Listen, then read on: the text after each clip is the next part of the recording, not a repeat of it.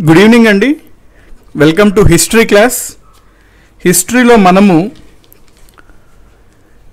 Medieval ఇండియాలో early medieval India గురించి మాట్లాడుకుంటున్నాం.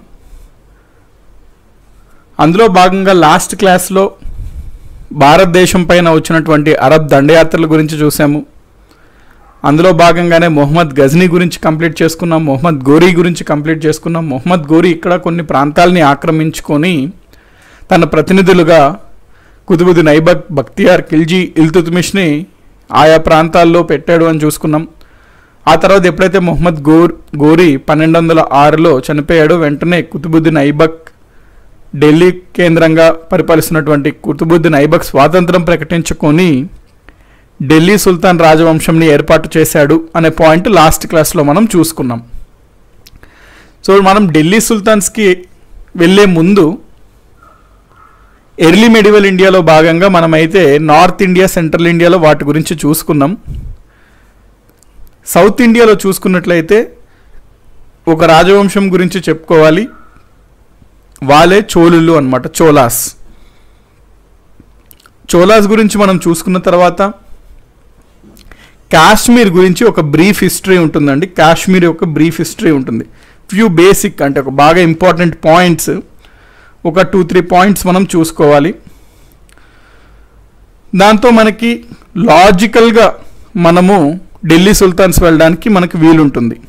వన్స్ మనము చోలాస్ మరియు కాశ్మీర్ని పరిపాలించిన బ్రీఫ్ పాయింట్స్ కొన్ని చూసుకుంటే ఒక ఫోర్ ఆర్ ఫైవ్ పాయింట్స్ ఉంటుంది కాశ్మీర్ గురించి. సో ఈ రెండు చూసుకుంటే మనకి ఢిల్లీ సుల్తాన్స్కి ఎంటర్ అవ్వడానికి లాజికల్గా మనకి ఉంటుంది. కాబట్టి ఫస్ట్ అయితే మనం ఈరోజు ఎర్లీ మిడివల్ ఇండియాలో సౌత్ ఇండియాని పరిపాలించిన గొప్ప వంశమైనటువంటి చోలాస్ గురించి చూద్దాము. చోలాస్ అనగానే మీకు అనిపిస్తుంది సార్ మనం చోలాస్ చేరాస్ పాండ్యాస్ అని సంగం యుగంలో చదువుకున్నాం కదా. దాదాపుగా సెకండ్ సెంచురీ బీసీ అంటే రెండు వందల క్రీస్తు పూర్వం నుంచి రెండు వందల క్రీస్తు శకం దాకా ఆ ప్రాంతంలో ముఖ్యంగా తమిళనాడు ప్రాంతంలో చోళులు అనే ఒక రాజవంశం వాళ్ళు ఉన్నారు కదా వీళ్ళు వేరు వాళ్ళు వేరు అని డౌట్ వస్తుంది. మనకి చోళులు అనే ప్రస్తావన మూడు సార్లు వస్తుందండి హిస్టరీలో ఒకటి ప్రాచీన భారతదేశం ఏన్షియంట్ ఇండియాలో వస్తుంది. Two hundred BC to two hundred AD రెండు వందల క్రీస్తు పూర్వం నుంచి రెండు వందల క్రీస్తు శకం వరకు వస్తారు. వాళ్ళని మనము ఏన్షియంట్ చోలాస్ అని అంటాము. ప్రాచీన చోళులు అంటాము. మళ్ళీ ఇదే చోళుల యొక్క ప్రస్తావన మనకి దాదాపుగా eight hundred to thousand eleven hundred ఆ ప్రాంతం మధ్యలో మళ్ళీ వస్తుందండి. వీళ్ళని మనము మధ్య భారతదేశ చోళులు అంటాం మెడివల్ చోలాస్ అంటాం. మనకి ఈ మెడివల్ చోలాస్ తర్వాత అనగా eleven hundred to thirteen hundred ఆ మధ్యలో మళ్ళీ మనకి చోలాస్లోనే ఒక బ్రాంచ్ అయినటువంటి వాళ్ళు చోళ చాళుక్యాస్ అంటాము. చోలాస్కి చాళుక్యాస్కి రిలేషన్ ఏర్పడడం వల్ల అప్పటి నుంచి పరిపాలిస్తున్న రాజుల్ని మనము చోళ చాళుక్యులు అంటాం. చోళ చాళుక్యాస్. వీళ్ళని మనము later Chalukyas late later Cholas అని కూడా అంటాము. సో ప్రధానంగా మనకి మూడు సార్లు చోళాస్ గురించి భారతదేశ చరిత్రలో ప్రస్తావన ఉంటుంది. సో చోళాస్ మనం ఫస్ట్ చూసుకున్నట్లయితే సంఘంలో చదువుకుంటాం చోళాస్ అని. తర్వాత మనకి మెడివల్ ఇండియాలో చదువుకుంటాం. అంటే ఎర్లీ మెడివల్ ఇండియాలో భాగంగా. తర్వాత మనకి ఈ ఎర్లీ మెడివల్ ఇండియా కొంతమంది రాజుల తర్వాత నెక్స్ట్ వచ్చినటువంటి రాజులే అక్కడి నుంచి మనకి లేటర్ చోలాస్ అంటాం. ఎందుకు అంటే ఇక్కడి నుంచి చోళులు మరియు చాళుక్యులు కలిసి ఒకటే అవ్వడం జరుగుద్ది అనమాట వీళ్ళనే చోళ చాళుక్యాస్ అంటాం. సో మనం ఆల్రెడీ సంఘంలో అయితే చోలాస్ గురించి చూసుకున్నాం. ఇప్పుడు మనం ఫస్ట్ ఈ రెండిటి గురించి చూద్దాం. ఈ రెండిట్లో కూడా యాక్చువల్లీ మనకి ఎర్లీ మిడివల్ ఇండియాలో వీలు ప్రధానంగా వస్తారు కాబట్టి మనం ఫస్ట్ అయితే వీలు గురించి చూస్తామండి ఈరోజు. తర్వాత మనం ఢిల్లీ సుల్తాన్స్ అయిపోయిన తర్వాత వీళ్ళ గురించి చూసుకోవాలి. ఎందుకంటే కాస్త లింక్ ఉంటుందన్నమాట. ఢిల్లీ సుల్తాన్స్ తర్వాత ఇవి చూసుకుంటే బెటర్ కాబట్టి ఎర్లీ మెడివల్ ఇండియాలో ఉన్నటువంటి చోళుల గురించి అయితే ఈరోజు చూద్దాం. ఇది అయిన తర్వాత కాశ్మీర్ గురించి మనము కొంత పాయింట్స్ చూసుకోవాలి. దాని తర్వాత ఇఫ్ టైం మనకి పెర్మిట్ ఉంటే మనము ఢిల్లీ సుల్తాన్స్ ఒక ఇంట్రొడక్షన్ టైప్ ఒక ఎంట్రీ ఇచ్చేస్తాం స్లేవ్ డైనాసిటీ దెన్ మనకి ఢిల్లీ సుల్తాన్స్ అయిపోయాక మనం ఈ లేటర్ చోలాస్ అనేది చూస్తాం. ఈ లేటర్ చోలాస్ చూసిన తర్వాత మనం చోలాస్కి సంబంధించి వాళ్ళ పరిపాలన ఎట్లా ఉండేది వాళ్ళ ఆర్థిక వ్యవస్థ ఎలా ఉంది చోలాస్ కాలంలో సమాజం ఏ విధంగా ఉంది సొసైటీ కావాల్సిన points art and architecture cultural point of వ్యూలో కూడా చోలాస్ అనేది మనం అక్కడ చూసుకుంటాం అనమాట ఓవరాల్గా సో యా అండి. స్టార్ట్ చేసేద్దాం. మన క్లాస్ని గుడ్ ఈవినింగ్ ఎవ్రీవన్ సో అందరూ వచ్చేసారు అనుకుంటున్నాం. Okay latest start our class మనం చోళులతో మొదలు పెడుతున్నాం కాబట్టి క్లాస్ని చోళులు అసలు ఏ ప్రాంతంలో పరిపాలించేవారు అని ముఖ్యంగా మనం చూసుకున్నట్లయితే ముఖ్యంగా తమిళనాడు అండి. ప్రధానంగా వీళ్ళు తమిళనాడు ప్రాంతాన్ని బేస్ చేసుకొని పరిపాలన అయితే చేసేవారు. మీకు గుర్తున్నదేమో నాకు తెలిసి చోళులు మనకి సౌత్ ఇండియాలో ముఖ్యంగా తమిళనాడు ప్రాంతంలో పల్లవాస్ గురించి చదివాం మనం. పల్లవాస్ గురించి మనం చదివాం. సో మీకు పల్లవాస్ మనం చదివింది ఏదైతే ఉందో అది గుర్తుంది అనుకుంటున్నాం. పల్లవుల గురించి చదువుతున్నప్పుడు మనకి పల్లలు యొక్క సామంతులుగా వీరు ఉండేవారు చోళులు అనే పాయింట్ మనం ఫస్ట్ చూసుకోవాలి. పల్లవుల యొక్క సామంతులుగా ఉండేవారు అనే పాయింట్ మనం ఫస్ట్ చోలాస్ గురించి చూసుకుంటాము. పల్లవాస్ మనం ఆల్రెడీ చూసాము. పల్లవాస్ దాదాపుగా మనకి మూడు వందల నుంచి తొమ్మిది వందల ఏడి ఈ ప్రాంతంలో వాళ్ళు పరిపాలిస్తారు. రౌండ్ ఫిగర్ అప్రాక్సిమేట్గా ఒక ఐడియా కోసం పల్లవాస్ అయితే. ఈ పల్లవాస్ క్రింద మొదట్లో సామంతులుగా ఫ్యూడేటరీస్ అంటే సామంతులుగా మనకి ఈ చోలాస్ అనేవారు ఉన్నారు. కొంతకాలం అయిన తర్వాత ఈ చోలాస్ ఈ పల్లవల నుంచి స్వతంత్రం ప్రకటించుకుంటారు. దాంతో ఒక చోలా ఎంపైర్ అనేది ఏర్పడుతుంది. ఈ చోలా ఎంపైర్ దాదాపుగా మనకి తొమ్మిది వందల నుంచి పన్నెండు వందల డెబ్బై తొమ్మిది రౌండ్ ఫిగర్స్ అండి. Nine hundred to twelve seventy nine Chola రాజ్యం అనేది పరిపాలన జరుగుతుంది. చోలా ఎంపైర్. సో ఎగ్జామ్స్లో మనకి ఏమడుగుతాడు మొదట్లో చోళులు ఏ రాజ్యంకి సామంతులుగా వ్యవహరించేవారు అంటాడు. పల్లవాస్ క్రింద సామంతులుగా వ్యవహరించేవారు అని మనం చెప్పాలి. అయితే ఈ పల్లవాస్ కింద సామంతులుగా ఈ చోళ రాజ్యాన్ని అసలు ఏర్పాటు చేసింది ఎవరు? సో చోళ రాజ్యం చోళ వంశం స్థాపకుడు ఎవరు అంటాడు. సో వంశ స్థాపకుడు ఎవరు? అనే పాయింట్ మనం చూసుకున్నప్పుడు వంశస్థాపకుడు విజయాలయ చోళ అని అంటాము. విజయాలయ చోళ. సో ఈ విజయాలయ చోళ ఏంటండి? వంశస్థాపకుడు అనగా పల్లవాస్ క్రింద సామంతులుగా చోళ వంశాన్ని విజయాలయ చోళ ఏర్పాటు చేశాడు అనే పాయింట్ మనము తెలుసుకోవాలి. విజయాలయ చోళ. రాజధాని వీళ్ళది ఏమిటి? క్యాపిటల్ ఏమిటి? అంటే తాంజూర్ అన్నమాట. దీన్నే తంజావూరు అని కూడా అంటారు. Tanjore or Thanjavur. Tanjore or Thanjavur. So మనకి మొట్టమొదటి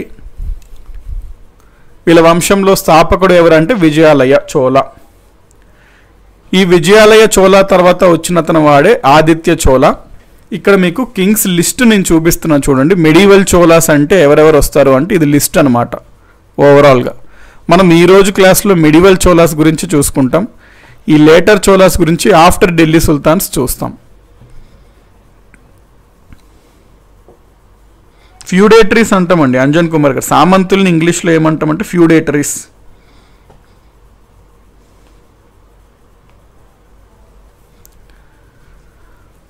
మిడివల్ చోలాస్లో ఫస్ట్ మనము విజయాలయ వంశస్థాపకుడు అని చూసాం ఈ విజయాలయ తర్వాత వచ్చిన అతను వాడే ఆదిత్య వన్ లేకపోతే ఆదిత్య చోళ అంటాం.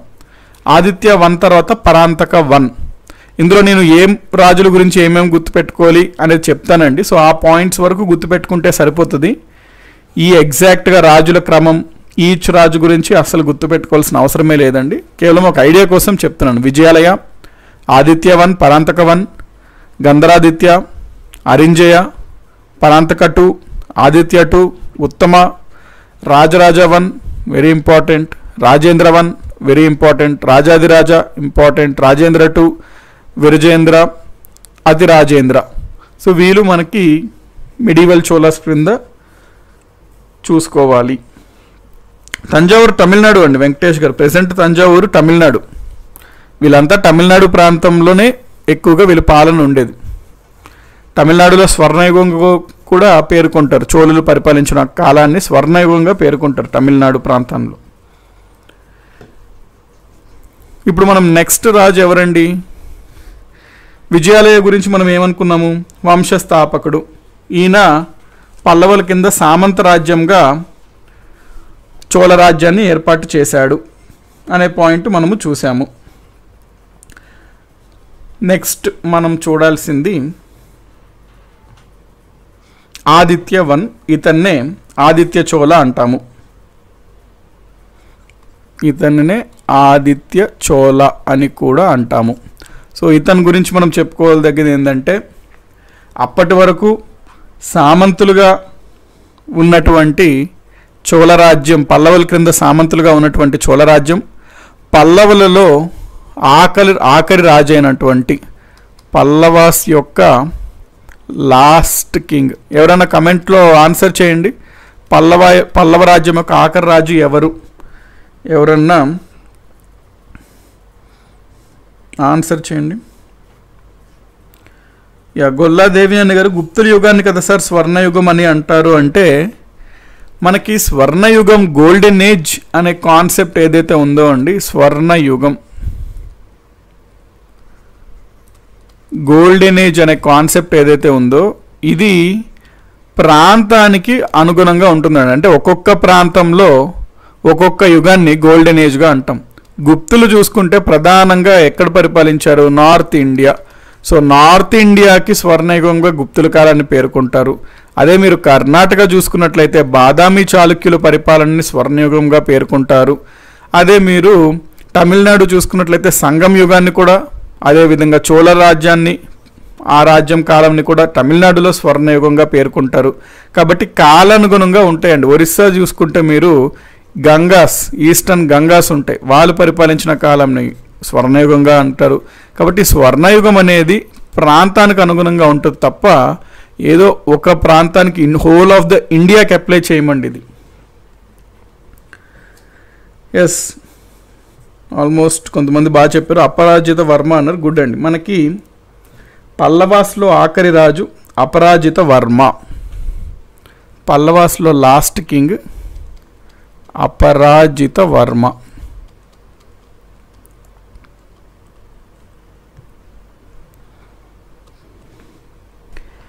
ఈ అపరాజిత వర్మని ఆదిత్య చోళుడు ఓడించి అతన్ని పక్కకి జరిపి స్వతంత్ర రాజ్యమైనటువంటి చోళ రాజ్యాన్ని ఏర్పాటు చేస్తాడు. సో ఇండిపెండెంట్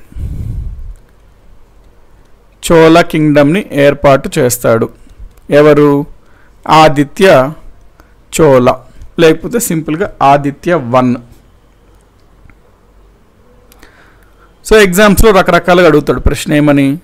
చోళరాజ్యం ఎవరి కింద సామంతులుగా ఉండేవారు? పల్లవుల కింద. ఆదిత్య చోళ రాజు ఏ పల్లవరాజుని ఓడించి స్వతంత్ర రాజ్యమైన చోళరాజ్యాన్ని ఏర్పాటు చేశాడు అపరాజిత వర్మ. పల్లవ రాజ్యం యొక్క ఆఖరి రాజు ఎవరు? అపరాజిత వర్మ.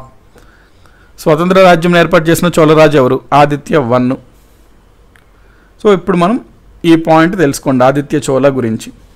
ఆదిత్య చోళ తర్వాత నెక్స్ట్ వచ్చినటువంటి రాజు ఎవరండి? విజయాలయ చూసాం. ఆదిత్య వన్ చూసాం. తర్వాత పరాంతక వన్. పరాంతక వన్. ఈ పరాంతక వన్ అనే అతను ఒక ముఖ్యమైన రాజే. ఇతను ఒక చాలా ప్రసిద్ధిగాంచిన శాసనంని జారీ చేయిస్తాడు. ఆ శాసనము తమిళనాడులో ఉన్న ఉత్తర మేరూర్ అనే ప్రాంతంలో వేయించాడు. అందుకనే ఆ శాసనం శాసనంని మనము ఉత్తర మేరూర్ శాసనం అంటాము. ఉత్తర మేరూర్ ఇన్స్క్రిప్షన్.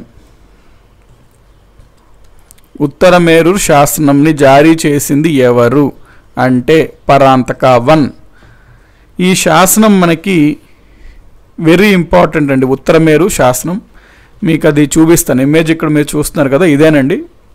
ఉత్తరమేరూరు శాసనం. రిపీటెడ్ క్వశ్చన్ ఇది. ఉత్తర మేరూర్ శాసనంని జారీ చేసిన చోళరాజు ఎవరు? పరాంతక వన్ లేదా పరాంతక చోళ అని ఇస్తాడు ఆప్షన్స్లో ఈ ఉత్తర మేరూరు శాసనం ద్వారా మనకి ప్రధానంగా ఏం తెలుస్తుంది అంటే చోళుల యొక్క పరిపాలన గురించి మనకి బాగా ముఖ్యంగా తెలుస్తుంది. మొట్టమొదటిసారిగా ప్రజాస్వామ్యబద్ధంగా పరిపాలన చోళ కాలంలోనే జరిగింది భారతదేశంలో అని చెప్తారనమాట సో చోలాస్ యొక్క అడ్మినిస్ట్రే చోలాస్ యొక్క అడ్మినిస్ట్రేషన్ పరిపాలన గురించి ముఖ్యంగా మనకి ఉత్తరమేరూరు శాసనం తెలుపుతుంది. చోలాస్ యొక్క పరిపాలన ముఖ్యంగా లోకల్ సెల్ఫ్ గవర్నమెంట్ అంటే స్థానిక ప్రభుత్వాలు. ఆ ప్రభుత్వాలు కూడా రాజు నియమించేది కాకుండా ఎన్నిక ద్వారా స్థానికంగా జనాలు చేత ఎన్నుకోబడిన ప్రజాప్రతినిధుల చేత పరిపాలన జరిగేది. మరి అదే కదా డెమోక్రసీ ప్రజాస్వామ్యం అంటే. కాబట్టి మొట్టమొదటిసారిగా మనకి వికేంద్రీకరణం లేదా దాన్ని డీసెంట్రలైజేషన్ అంటాం. వికేంద్రీకరణం మనకి ప్రజాస్వామ్యం మనకి స్థానిక ప్రభుత్వాలు ఇట్లా ప్రధానంగా ఇవన్నీ ఎక్కడ మనకి ముఖ్యంగా కనబడతాయంటే చోళుల కాలంలోనే కనబడతాయి. So highest stage of decentralization అనేవి మనకు కనబడేది చోళాస్ కాలంలోనే. మరి ఇటువంటివన్నీ మనకి వేటి ద్వారా తెలుస్తుంది అంటే పరాంతకావం జారీ చేసినటువంటి ఉత్తర మేరూరు శాసనం ద్వారా తెలుస్తుంది.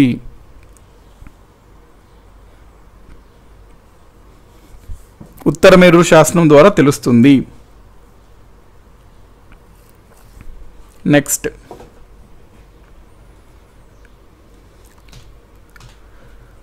మనకి ఈ కాలంలో అంటే పరాంతకవన్ చోళరాజ్యంని పరిపాలిస్తున్న కాలంలోనే పరాంతకవన్ ఇక్కడ పరిపాలిస్తున్నప్పుడు మనకి కర్ణాటక మహారాష్ట్ర ప్రాంతంలో ఆ సమయంలో పరిపాలిస్తున్న వారు ఎవరు రాష్ట్రకూటులు.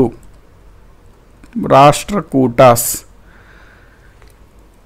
సో చోళ రాజ్యాన్ని పరాంతకవన్ పరిపాలిస్తున్న సమయంలోనే చోళులకి మరియు రాష్ట్రకూటులకి మధ్యన యుద్ధాలు అనేవి ప్రారంభమయ్యాయి.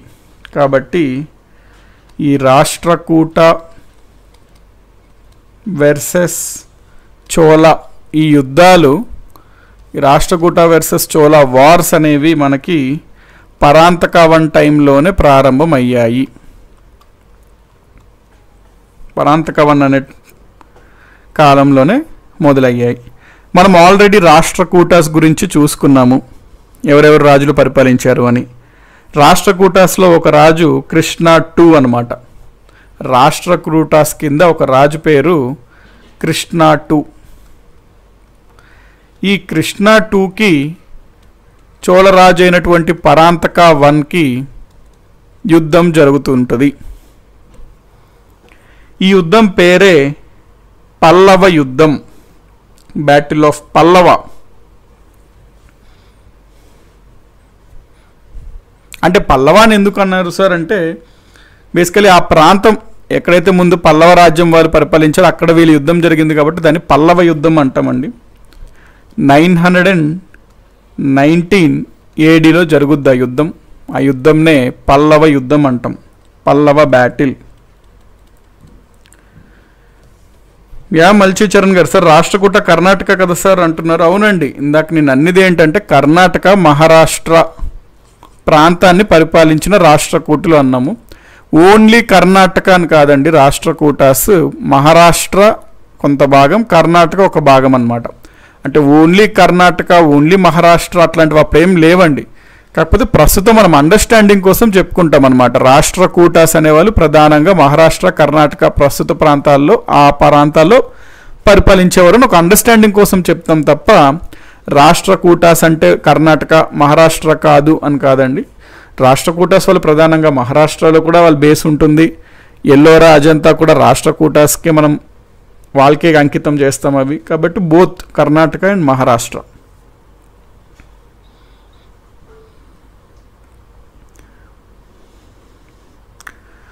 కాబట్టి ఈ పల్లవ యుద్ధంలో నైన్ హండ్రెడ్ అండ్ నైన్టీన్ ఏడీలో కృష్ణా టు రాష్ట్రకూట రాజు అయినటువంటి కృష్ణాటుకి చోళా రాజు అయినటువంటి పరాంతక వన్ మధ్యన జరుగుతుంది. ఈ యుద్ధంలో చోళరాజు పరాంతక వన్ గెలుస్తాడు. రాష్ట్రకూట రాజు కృష్ణ టూ ఓడిపోతాడు. ఈ యుద్ధంనే పల్లవ యుద్ధం అంటాము. రాష్ట్రకూటుల్లో కృష్ణ టూ తర్వాత మనకి నెక్స్ట్ వచ్చినటువంటి రాజు కృష్ణ త్రీ అనమాట సో నెక్స్ట్ వచ్చినటువంటి రాజు పేరు కృష్ణాత్రి త్రీ.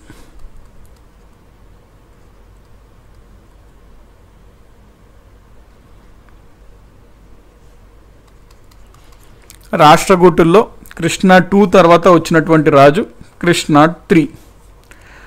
మరి ఈ వైరాగ్యం అనేది వీళ్ళిద్దరి మధ్యన ఈ యుద్ధాలు అనేవి కంటిన్యూస్గా నిరంతరం జరిగేది. సో ఇప్పుడు నెక్స్ట్ వచ్చినటువంటి కృష్ణా త్రీ ఆ యుద్ధాన్ని కంటిన్యూ చేస్తుంటాడు చోలాస్తో సో కృష్ణా త్రీకి పరాంతక మధ్యలో కూడా యుద్ధం జరుగుతుంటుంది. కృష్ణా త్రీ రివెంజ్ తీసుకోవాలనుకుంటాడు పరాంతక పైన. సో ఇప్పుడు మనకి కృష్ణా త్రీకి మరియు పరాంతకాకి యుద్ధం జరుగుతుంది మళ్ళీ. పరాంతక వన్ అని చెప్పుకోవచ్చు. కృష్ణ త్రీకి పరాంతక వన్కి యుద్ధం జరుగుద్ది. ఎప్పుడు అంటే పల్లవ యుద్ధం జరిగిన ఒక ఇరవై ఏళ్ళకి. అంటే nine hundred and thirty nine AD. ఎవరన్నా ఆన్సర్ చేయండి యుద్ధం ఏంటి అనేది. ఎందుకు అంటే ఈ యుద్ధం గురించి మనము రాష్ట్ర కూటాస్ చెప్పుకున్నప్పుడు చెప్పుకున్నాం అనమాట వెరీ గుడ్. ఉదయ్ ముంజేటి గారు బాగా చెప్పారు. సంధ్యా బగాది గుడ్. మనము వీళ్ళిద్దరి మధ్యన జరిగిన యుద్ధం తొమ్మిది వందల ముప్పై తొమ్మిదవ సంవత్సరంలో జరిగిన యుద్ధంనే తక్కోలం యుద్ధం అంటాము. బ్యాటిల్ ఆఫ్ తక్కోలం అంటాము.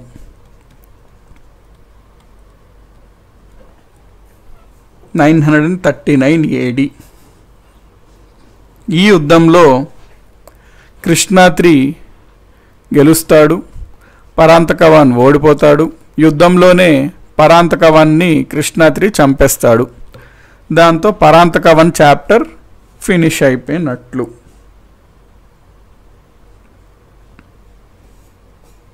నెక్స్ట్.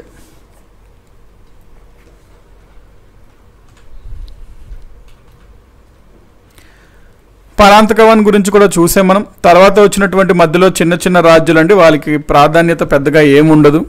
తక్కువ కాలం పరిపాలిస్తుంటారు. ఒక సంవత్సరం మూడు సంవత్సరాలు ఆ విధంగా. తర్వాత మనం గొప్పగా చెప్పుకోదగ్గ రాజు పేరు పరాంతకవన్ తర్వాత రాజరాజ వన్ అనమాట సో రాజరాజ వన్ గురించి మనం చెప్పుకోవాలి. ఎందుకు అంటే మొత్తం చోళ రాజ్యంలో చోళ వంశాన్ని పరిపాలించిన అందరు రాజుల్లో గొప్ప రాజు అని ఎవరు అని అడిగితే రాజరాజ చోళ అని చెప్పుకోవాలి. యాక్చువల్గా మనకి చోళ రాజ్యంలో ఇద్దరు అతి గొప్ప రాజులు ఉంటారండి. రాజరాజ చోళ మరియు ఆ నెక్స్ట్ వచ్చిన అతను రాజేంద్ర చోళ. వీళ్ళిద్దరూ గ్రేటెస్టే అనమాట సో జనరల్గా మనకు కొన్ని బుక్స్లో గ్రేటెస్ట్ గొప్ప రాజు ఎవరు అంటే రాజరాజ చోళ అని ఇస్తారు. కొన్ని బుక్స్లో రాజేంద్ర చోళ అని ఇవ్వచ్చు. కాబట్టి ఇద్దరు పేర్లు ఇద్దరు చోళ వంశంలో అతి గొప్ప రాజులుగానే గుర్తుంచుకోండి. ఎందుకంటే ఇద్దరు పవర్ఫుల్ అనమాట సో ఇప్పుడు మనము రాజరాజ వన్ లేదా ఇతనినే రాజరాజ చోళ అంటాము. ఇతని గురించి చూద్దాం. Rajaraja Chola very very important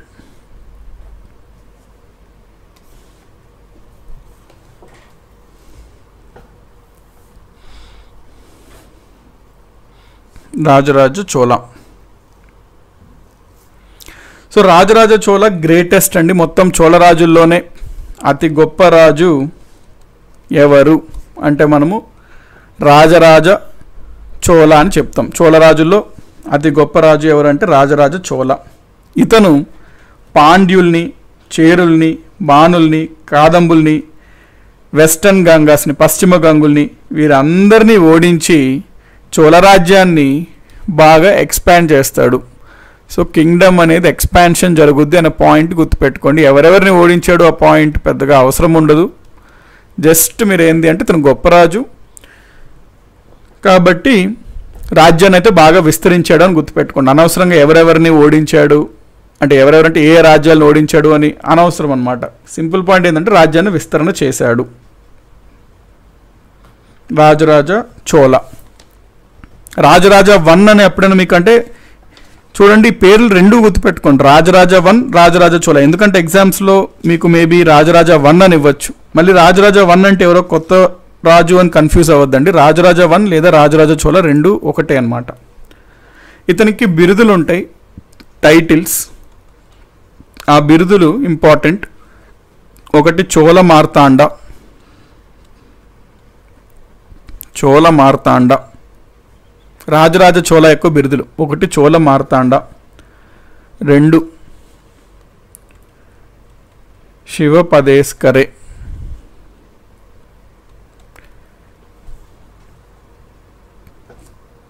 Shivapada శేఖరే. శివపాద శేఖరే. శేఖరే అండి ఇది శివపాద శేఖరే. శివ పాద శేఖరే. నెక్స్ట్ ఇతనికి ఇంకొక మొత్తం నాలుగు బిరుదులు ఉంటాయి. మూడో బిరుదు ముమ్మడి చోళ దేవ. ముమ్మడి చోళ దేవ. నాలుగో బిరుదు మధురై కొండ. మధురై రాజ్యాన్ని ఇతను ఆక్రమిస్తాడు కాబట్టి మధురై కొండ అంటాం. అంటే మధురై పైన విజయం సాధిస్తే మనం మధురై కొండ అనే బిరుదు తీసుకుంటాం.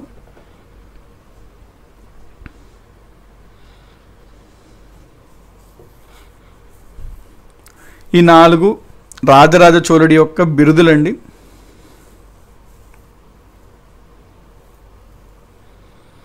ముఖ్యంగా మనకి రాజరాజ చోళ పరిపాలిస్తున్నప్పుడే గ్రామీణ ప్రాంతాల్లో కూడా అంటే స్థానిక ప్రభుత్వాలు బాగా బలపడడం అవన్నీ జరుగుతాయి.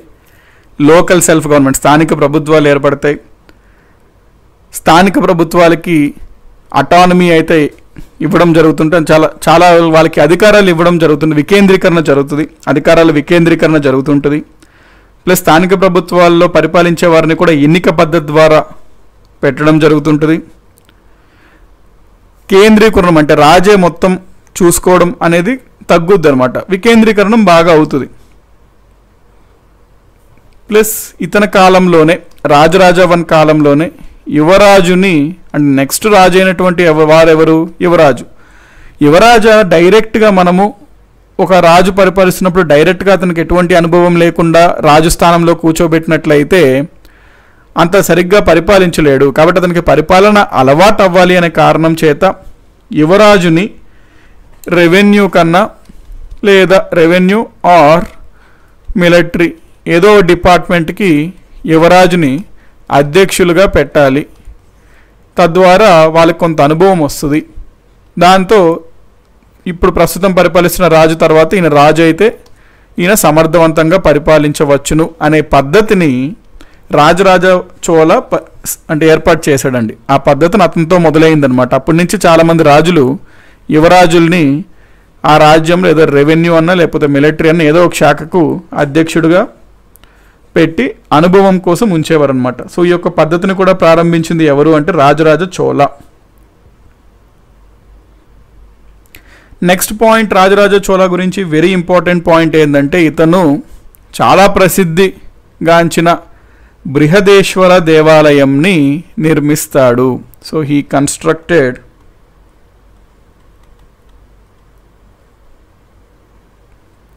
he constructed Brihadeeswara temple.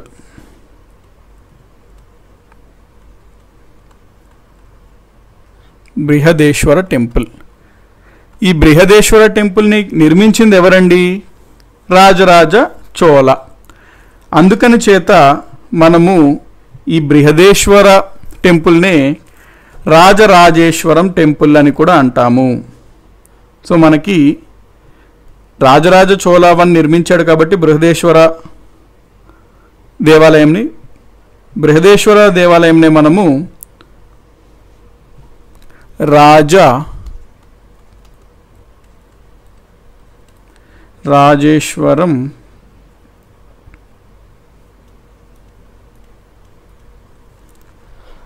Rajarajeshwaram temple అని కూడా అంటాము.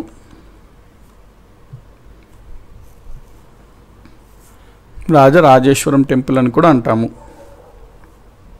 ఎందుకంటే రాజరాజేశ్వరం నిర్మించాడు కాబట్టి. బృహదేశ్వర టెంపుల్ ఇక్కడ మీరు చూడొచ్చండి. వెరీ ఫేమస్ టెంపుల్ అనమాట ఇది. ద్రవిడియన్ శైలిలో నిర్మించబడింది. ఎక్కడ ఉంది బృహదేశ్వరం టెంపుల్ అంటే తాంజోర్ అండి. మనకి తంజావూరు వీళ్ళ యొక్క రాజధాని అయినటువంటి టాంజోర్లో నిర్మించబడినది బృహదేశ్వర టెంపుల్.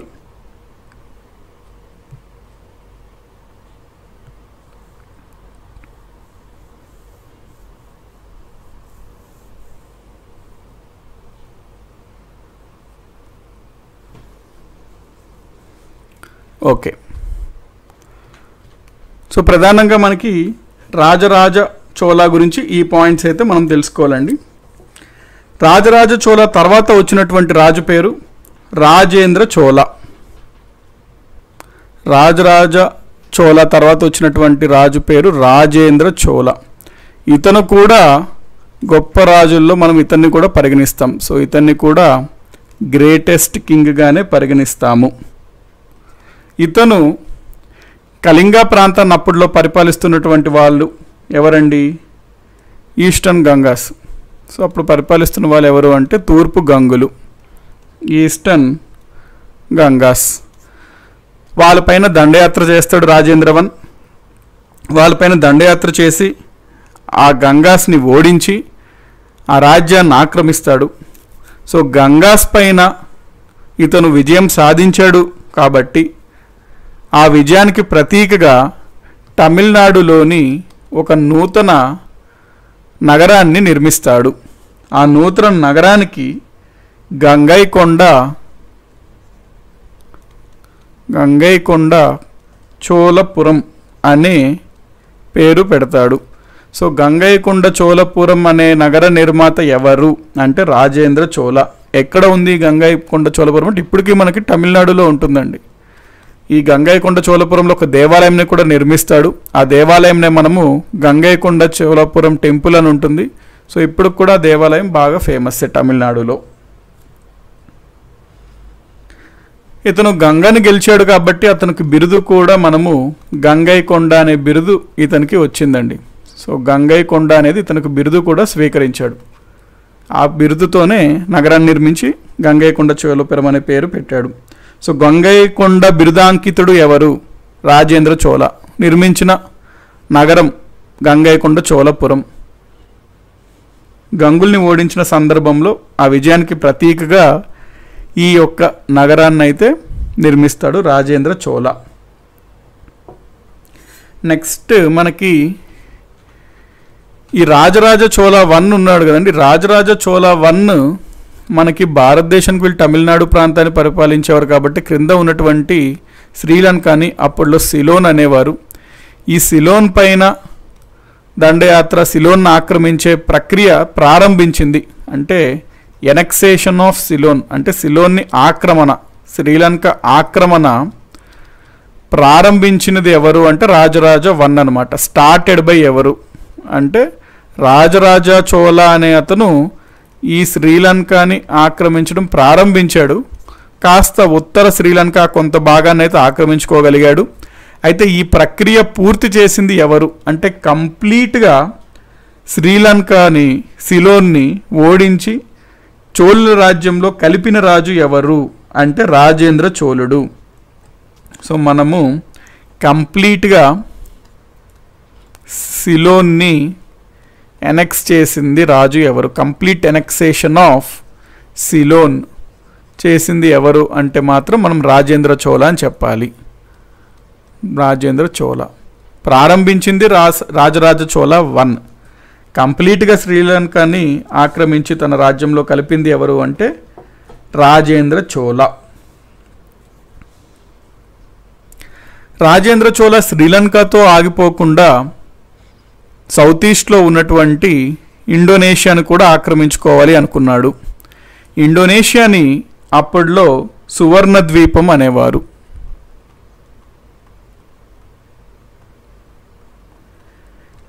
సువర్ణ ద్వీపం అంటే ప్రస్తుత ఇండోనేషియా. ఈ సువర్ణ ద్వీపం యొక్క రాజధాని పేరు కాదరం. అప్పట్లో సువర్ణ ద్వీపం రాజ్యానికి రాజధాని కాదరం. సో ఈ రాజేంద్ర చోళ సువర్ణద్వీప రాజధాని అయినటువంటి కాదం కాదంబరం పైన దండయాత్ర చేసి ఆ ప్రాంతాన్ని కూడా ఆక్రమిస్తాడు.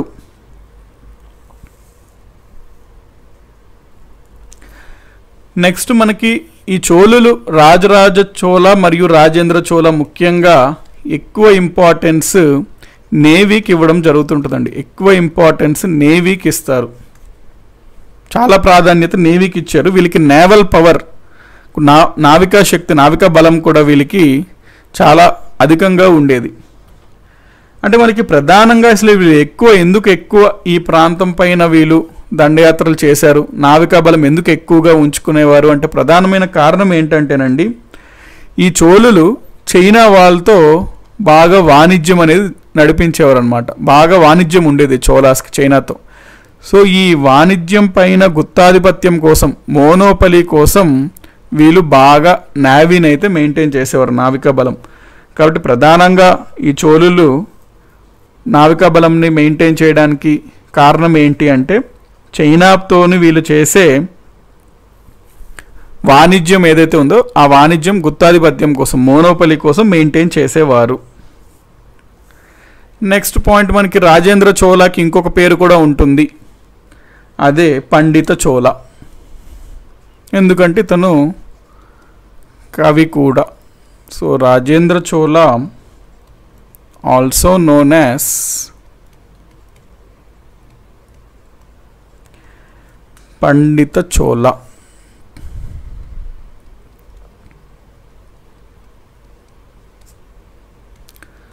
ఎగ్జామ్స్లో పండిత చోళ అని ఏ చోళరాజును అంటాము అంటాడు.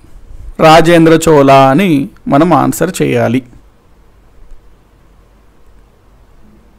రాజేంద్ర చోళ అని ఆన్సర్ చేయాలి.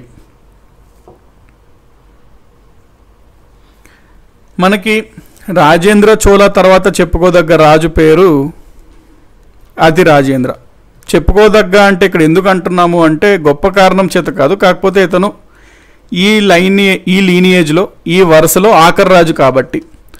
సో మనకి మెడివల్ చోలాస్ లేకపోతే ఎర్లీ చోలాస్లో ప్రధానంగా వీళ్ళ గురించి చూసుకున్నప్పుడు ఆఖర్ రాజు ఎవరు అంటే అతి రాజేంద్ర. ఇదే కొన్ని బుక్స్లో ఆది రాజేంద్ర అని ఉంటుంది. ఎట్లా ఇచ్చినా ఓకేనండి రైటే ఆది రాజేంద్ర లేకపోతే అతి రాజేంద్ర. సో ఈ అతి రాజేంద్ర అనే అతను ఈ చోలాస్లో ఆఖర్ రాజు. అయితే అతి రాజేంద్ర పైన పాండ్యాస్ అని ఉంటారు ఒక రాజ్యం. ఆ పాండ్యులు దండయాత్ర చేసి అతన్ని ఓడిస్తారు.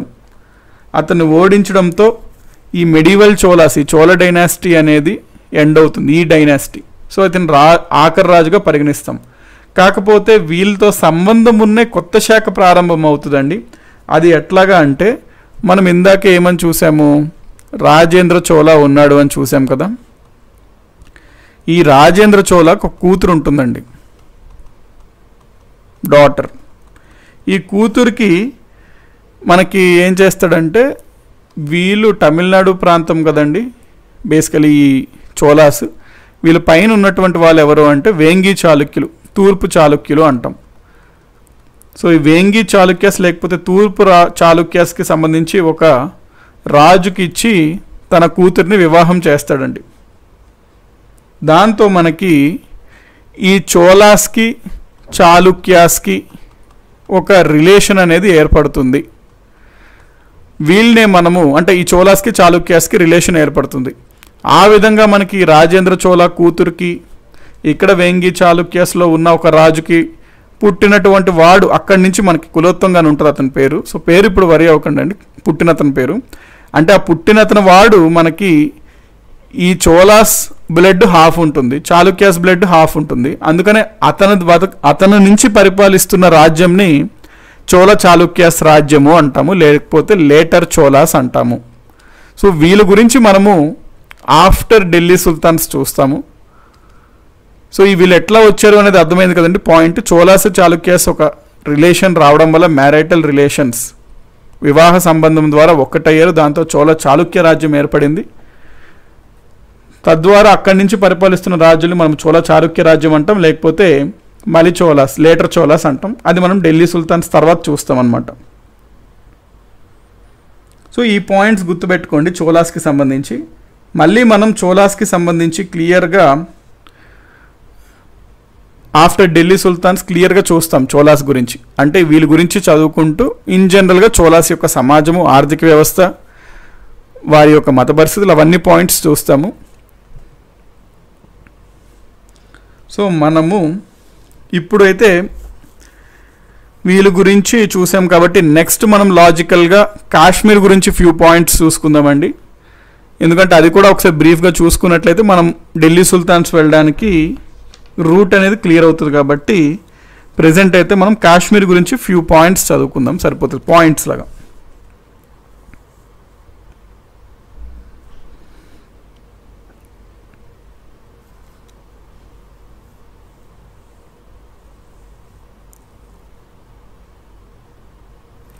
యా వేదగారు ఏమంటున్నారంటే సార్ ఇక్కడ ఈ అతిరాజేంద్రని పాండ్యులు ఓడించారు అంటున్నారు కదా.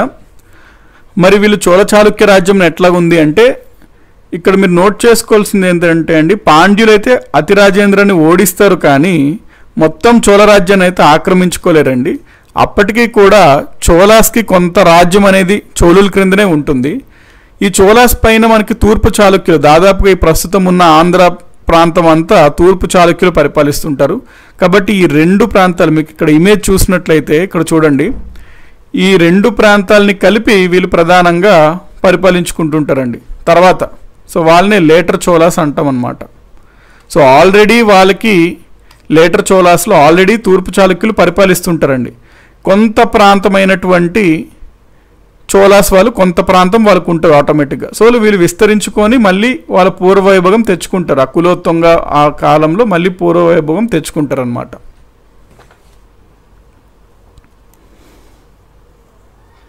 నెక్స్ట్ కాశ్మీర్ గురించి చూసుకుందాం. History of Kashmir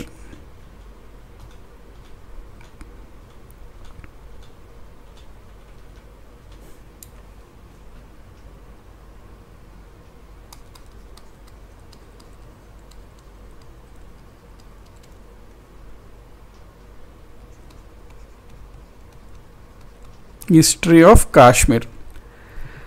మనకు అసలు కాశ్మీర్ గురించి ఆ చరిత్ర అసలు ఏంటి కాశ్మీర్ని ఎవరెవరు పరిపాలించేవారు అనేది తెలుసుకోవడానికి చరిత్రకారులకి ప్రధానంగా ఉన్నటువంటి ఆధారం ఏంటి అంటే రాజతరంగని అనే గ్రంథం.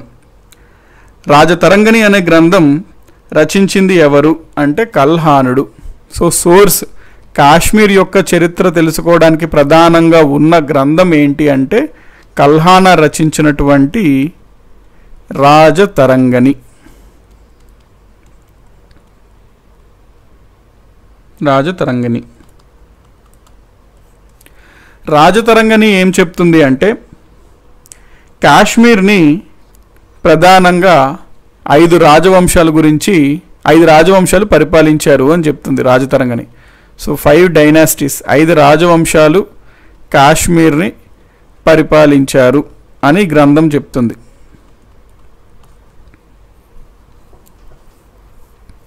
కల్హానాస్ రచించిన రాజతరంగిని ఐదు రాజవంశాలు కాశ్మీర్ని పరిపాలించారు అని తెలుపుతుంది. సో మనకి రాజతరంగిణిలోనే ప్రస్తావించిన కాశ్మీర్కి సంబంధించిన ప్రస్తావన కొన్ని పాయింట్స్ చూసుకుందాం.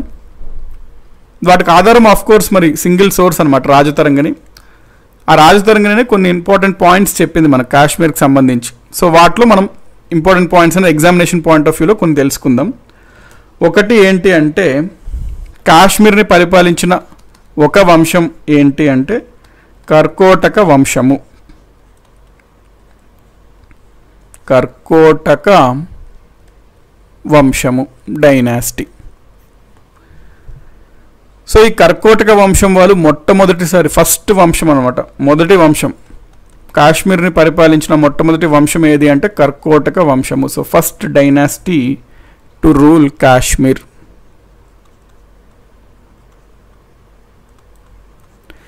కాశ్మీర్ని పరిపాలించిన మొట్టమొదటి వంశం ఏది అంటే కర్కోటక వంశం. ఈ కర్కోటక వంశం గురించి మనం చూసినప్పుడు ఈ కర్కోటక వంశంలోనే గొప్ప రాజు ఎవరు అనే పాయింట్ మనం చూసుకుందాం. గ్రేటెస్ట్ ఆఫ్ కర్కోటక డైనాసిటీ ఎవరు అంటే లలితాదిత్య.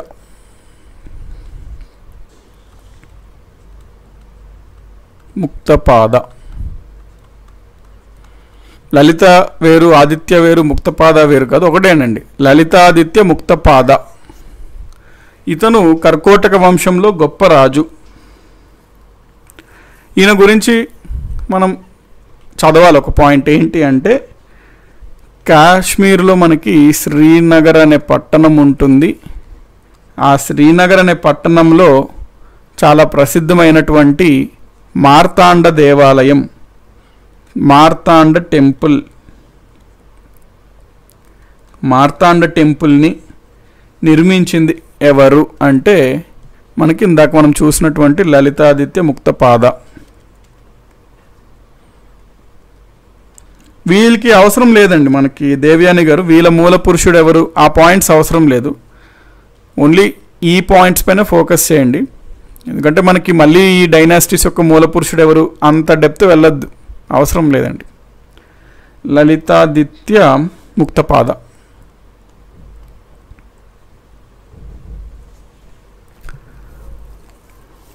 సో ఇతని గురించి ఈ ఒక్క పాయింట్ తెలుసుకుంటే చాలు. ఇంకా జనరల్గా ఇతని గురించి ఇంకో పాయింట్ ఏమంటారంటే ఈయన కాలంలోనే కాశ్మీర్కి చైనాకి మధ్యన వాణిజ్యం కూడా బాగా పెరిగింది అంటారు. ట్రేడ్ కూడా బాగా పెరిగింది అనమాట ఈయన కాలంలోనే. బాగా ప్రోత్సహించాడు ఈయన. చైనాకి కాశ్మీర్కి మధ్యలో వాణిజ్యం బాగా ప్రోత్సహించడం జరిగింది. నెక్స్ట్.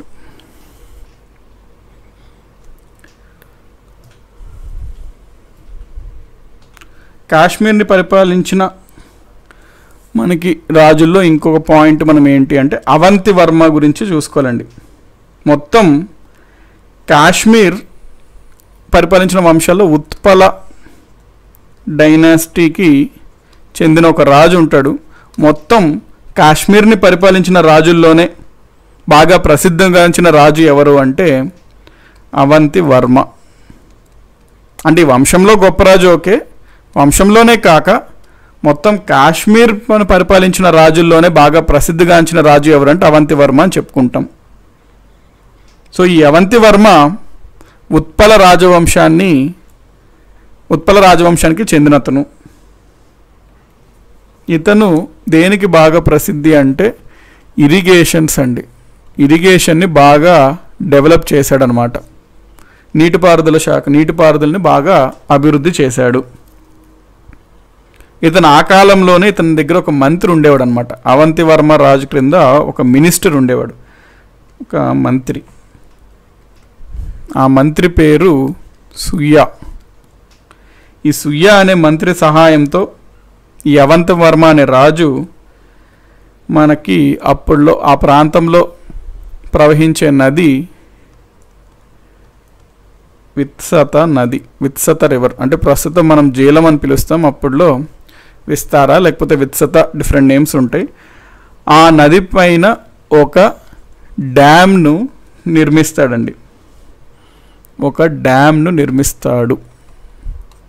సో అవంతి వర్మ అతని యొక్క మంత్రి సుయ సహాయంతో విత్సత ప్రస్తుత జీలం నది పైన ఉన్న ప్రస్తుతం జీలం నది పైన ఒక ఆనకట్టును డ్యామ్ని నిర్మిస్తాడు. ఈ పాయింట్ ఒకటి నోట్ చేసుకోండి.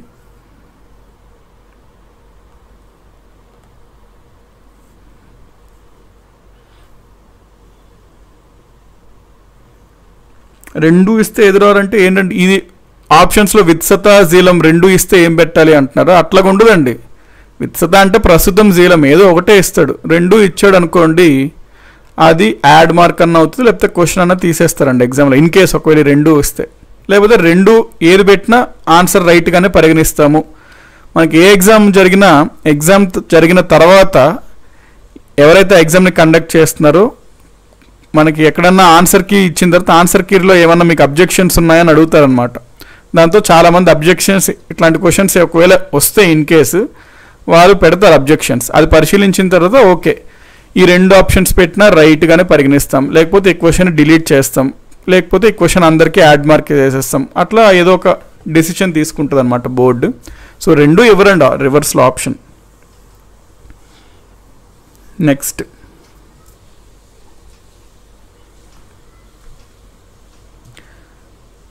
మనకి కాశ్మీర్ని పరిపాలించిన పూర్వగుప్త వంశం పూర్వగుప్త డైనాస్టీ. పూర్వగుప్త వంశానికి చెందింది ఒక పాయింట్ ఏంటి అంటే దిద్దాదేవి. ఈవిడ wife of Kshemagupta.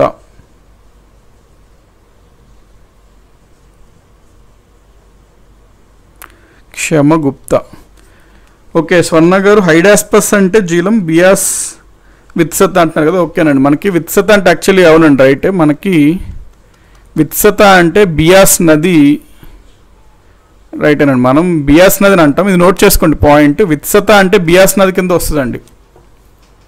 విత్సత అంటే ప్రజెంట్ బియాస్ అవునవును. జీలంని హైడాస్పస్ అంటాం. హైడాస్పస్ యుద్ధం అలెగ్జాండర్ ఆ పాయింట్. గుడ్ అండి సమ్మన్ స్వర్ణ.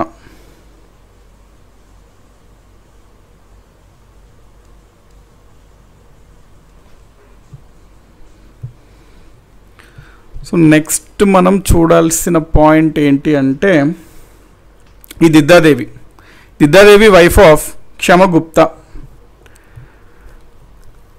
Diddadevi wife of Kshemagupta ఈయన గురించి ఒక పాయింట్ ఏంటంటే మొత్తం కాశ్మీర్ చరిత్రలోనే పరిపాలించినటువంటి ఏకైక మహిళా పాలకురాలు ఎవరు? Only women ruler who ruled only women ruler who ruled Kashmir ఎవరు అంటే మనము దిద్దాదేవిగా చెప్తాం. సో ఎగ్జామ్స్లో ప్రశ్న అడుగుతాడు. Only women ruler who ruled Kashmir ఎవరు? In the history of Kashmir Kashmir చరిత్రలోనే ఏకైక మహిళా పాలకురాలు ఎవరు? అంటే మనము దిద్దాదేవి అని చెప్పుకోవాలి.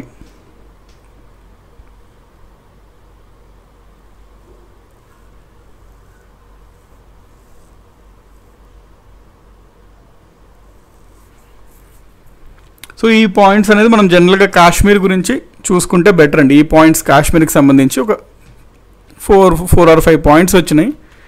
ఇవి సరిపోతాయి మనకి. కాశ్మీర్ చరిత్రకి సంబంధించింది శ్రీనగర్ అవన్నీ.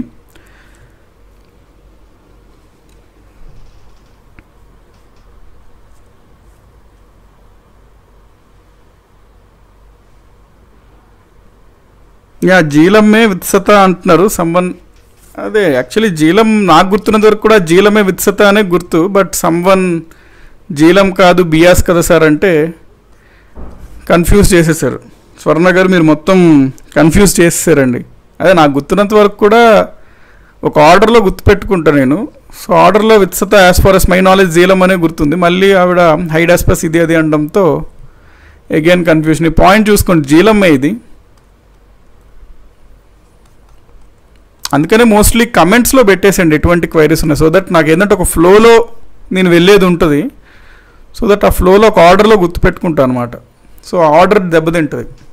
విత్సద అంటే జీలమేనండి అంటే రిపీటెడ్గా two or three times Vitasta అంటే బియాస్ బియాస్ అనడంతో కన్ఫ్యూజ్ అవడం అయింది.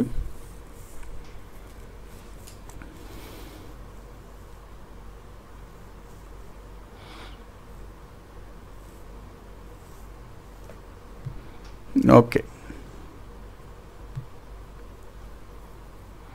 అవునండి. హైడాస్పస్ అనేది గ్రీక్లో గ్రీక్స్ జీలం నదిని హైడాస్పస్ అని పిలిచేవారండి. అక్కడే మనకి పోరస్ పురుషోత్తంకి అలెగ్జాండర్కి యుద్ధం జరుగుద్ది దాన్ని హైడాస్పస్ బ్యాటిల్ అంటాం. అది వేరు. మనకి ఏన్షియంట్ నేమ్స్ ఉంటాయన్నమాట. ఈ వేదకాలంలో పిలిచే నదుల యొక్క పేర్లు ఉంటాయి జీలంని విత్సత అనే పిలిచేవారు. మనం జీలం అనే ఫస్ట్ అనుకున్నాం. బట్ ఫ్యూ పీపుల్ మళ్ళీ బియాస్ అనడంతో మనం ఎగేజ్ అది అనుకున్నాం. జీలమే గుర్తుపెట్టుకోండి. జీలమే పెట్టుకోండి పాయింట్.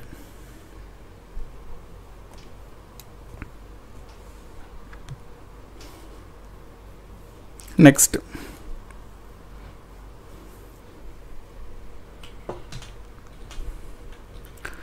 సో ఇది మనకి కాశ్మీర్కి సంబంధించిన చరిత్ర అండి. ఇప్పుడైతే మనము ఎర్లీ మెడివల్ ఇండియాలో భాగంగా ఆల్మోస్ట్ మనకి నార్త్ ఇండియా చూసుకున్నాము. అందులోనే భాగంగా సౌత్ ఇండియా గురించి చూసాము. సౌత్ ఇండియాలో మనకి వేంగి చాళుక్యాస్ కూడా ఉంటుందండి. సో వేంగి చాళుక్యాస్ మనం బిడ్ బ్యాంక్లో చూసుకున్నాము. సో ఒకవేళ ఎవరికన్నా వేంగి చాళుక్యాస్ కూడా ఇంట్రెస్ట్ ఉంది చూడడానికి అంటే దాదాపుగా మనం వేంగి చాళుక్యాస్ ఫోర్ అవర్స్ చూసుకున్నామండి. బిట్స్ రూపంలో వేంగి చాళుక్యాస్ ఆర్డర్లో. సో వాళ్ళు ఇక్కడ రిఫర్ చేయొచ్చు వేంగి చాళుక్యస్ అనే టాపిక్ నెక్స్ట్ మనకి ఇంకొన్ని రాజ్యాలు ఉంటాయి. అవన్నీ మనం ఢిల్లీ సుల్తాన్స్ చదివిన తర్వాత మనము కాకతీయాస్ అనివ్వండి హోయసాలాస్ అవనివ్వండి మళ్ళీ మనం కొత్తగా ఏర్పడిన చోళ చాళుక్య వంశం వాళ్ళే లేటర్ చోళాస్ అంటాం. ఆ రాజ్యాల గురించి అంతా మనం మళ్ళీ ఢిల్లీ సుల్తాన్స్ చూసుకున్నాక చూస్తామండి మళ్ళీ వాళ్ళ గురించి. ఎందుకంటే మనకు అక్కడ ఫ్రీక్వెంట్ ప్రస్తావన వస్తుంది. ఢిల్లీ సుల్తాన్ రాజు దండయాత్ర చేశాడు అనే ప్రస్తావన ఉంటుంది. అక్కడ మనకి ఢిల్లీ సుల్తాన్స్ కంప్లీట్ అయ్యాక వీళ్ళ గురించి చూసుకుంటే బెటర్ ఉంటుంది అనమాట దీంతో మనము ఎర్లీ మెడివల్ ఇండియా అనేది అయితే కంప్లీట్ చేసుకున్నామండి. మళ్ళీ మనము ఈ ఎర్లీ మెడివల్ ఇండియాలో భాగంగా లేటర్ మెడివల్ ఇండియా కూడా కంటిన్యూషన్గా ఉన్న కొన్ని రాజ్యాలు ఉంటాయి సౌత్ ఇండియాలో. వాటి గురించి మళ్ళీ మనం ఢిల్లీ సుల్తాన్స్ అయిన తర్వాత ప్రస్తావించుకుంటాము. సో రైట్ నౌ అయితే మనము ఎర్లీ మెడివల్ ఇండియా నుంచి యాక్చువల్ మెడివల్ ఇండియా ఎంటర్ అవుతున్నామండి. ఇప్పటి నుంచి మనకి యాక్చువల్ మెడివల్ ఇండియా అనేది స్టార్ట్ అవుతుంది medieval Indian history actual medieval Indian హిస్టరీలో మనము ప్రధానంగా మాట్లాడుకోవాల్సింది ఢిల్లీ సుల్తాన్స్ గురించి. యా సాయిబ్రహ్మ గారు మార్క్స్ వస్తాయి సార్ వెంకి చాళుక్యాస్ నుంచి అంటే రావచ్చండి. ప్రధానంగా మనకి ఇండియన్ హిస్టరీ పాయింట్లో అయితే ఇండియన్ హిస్టరీ పాయింట్లో జనరల్గా వేంగి చాళుక్యాస్ గురించి పెద్దగా మనం ప్రస్తావించుకోము.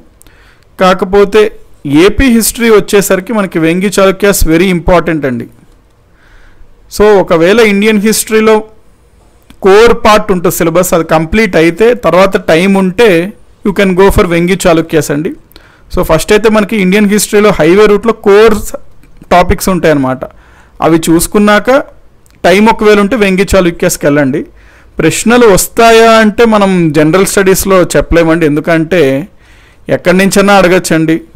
వెంగి చాళుక్యసే కదా ఎక్కడి నుంచన్నా అడగచ్చు. మనకు ఎక్కడో నార్త్ ఈస్టర్న్లో ఏదో ఒక చిన్న రాజ్యం ఉందనుకోండి. మేబీ ఆ చిన్న రాజ్యం నుంచి అడిగినా మనము ఇదేంటిది అడిగాడు ఇది అవుట్ ఆఫ్ సిలబస్ అనడానికి ఉండదు కాబట్టి అడుగుతాడంటే ఛాన్సెస్ అయితే ఉన్నాయండి. బట్ ఛాన్సెస్ ఆర్ స్లిమ్ అనమాట as far as Indian history is concern questions based on Vengi Chalukyas chances slim ఉంటాయి. బట్ అదే అందుకనే అంటున్నా ఇండియన్ హిస్టరీలో కోర్ టాపిక్స్ అయిపోయాక if you have time Vengi Chalukyas గురించి చూస్తే బెటర్ అండి. యా సరిపోతాయండి. సునీత గారు ఆ జస్ట్ ఆ కాశ్మీర్ చరిత్రకు సంబంధించి ఆ ఫ్యూ పాయింట్స్ గుర్తుపెట్టుకోండి సరిపోతుంది. ఎందుకంటే ఎగ్జామినేషన్ ఓరియంటేషన్లో ఆ మూడు పాయింట్స్ కూడా జస్ట్ మేబీ అడగచ్చు అనే ప్రస్తావనలో మనం చూడటమే తప్ప అనవసరంగా లోడ్ చేసుకోవడం అనవసరం. డైనాసిటీస్ మొత్తం ఎవరు ఏ రాజు స్థాపకులు ఎవరు ఆఖరి రాజు ఎవరు కాశ్మీర్కి అంత అవసరం ఉండదండి.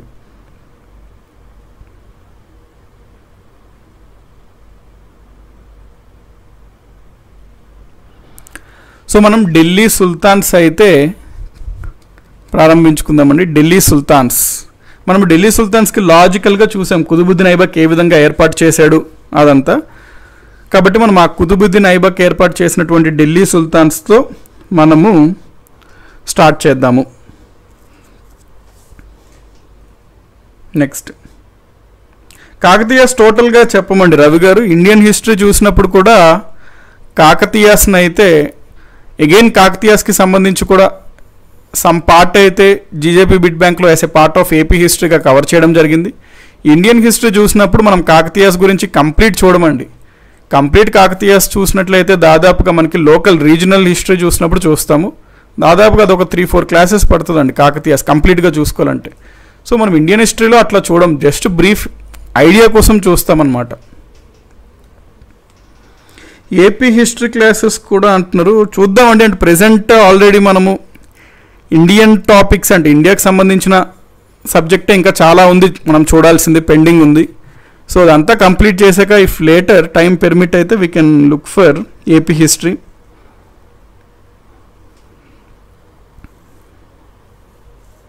ఎందుకంటే ఆల్రెడీ ఇప్పుడు మన ఇండియాలో చాలా పెండింగ్ ఉంది. ఇంకా మనం just right now we have stepped into medieval India అనమాట టిల్ నో ఆల్మోస్ట్ మనం ఏన్షియంట్లోనే ఉన్నాం.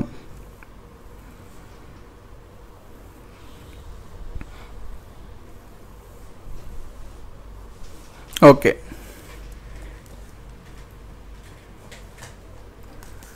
let us start Delhi sultans very important అండి ఢిల్లీ సుల్తాన్స్ ఢిల్లీ సుల్తాన్లు ఢిల్లీ సుల్తాన్లు పరిపాలించిన రాజవంశాలు ఎవరు అంటే ఐదు రాజవంశాలు. ఒకటి బానిస వంశం. Slave dynasty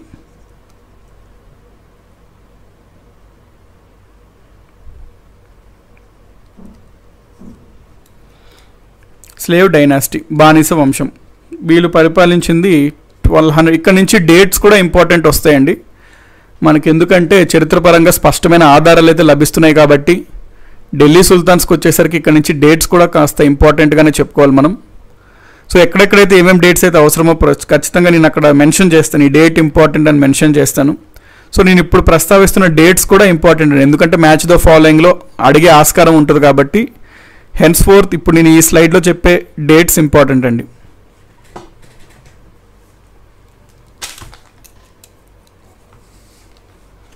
So twelve hundred and six to twelve hundred and ninety AD ఈ కాలంలో పరిపాలించిన రాజవంశం వంశం ఎవరు అంటే బానిస వంశం. ఢిల్లీ సుల్తాన్ని పరిపాలించిన బానిస వంశం slave dynasty next slave dynasty తర్వాత పరిపాలించిన రాజవంశం వారు ఖిల్జీ డైనాసిటీ అండి.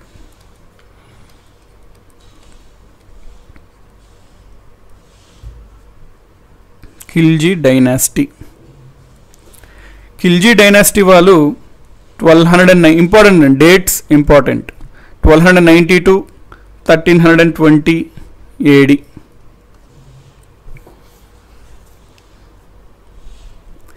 Next మనకి తుగ్లక్ డైనాసిటీ ఉంటుంది.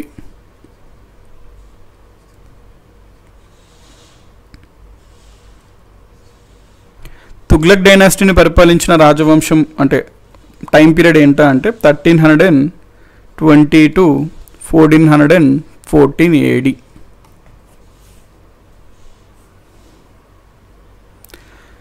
Next Sayyid వంశం.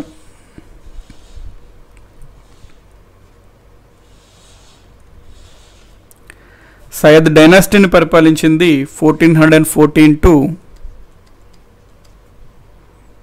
fourteen hundred and fifty one AD next పరిపాలించిన రాజవంశం లోడీ వంశం. Lodi dynasty. Lodi dynasty from fourteen hundred and fifty one to fifteen hundred and twenty six AD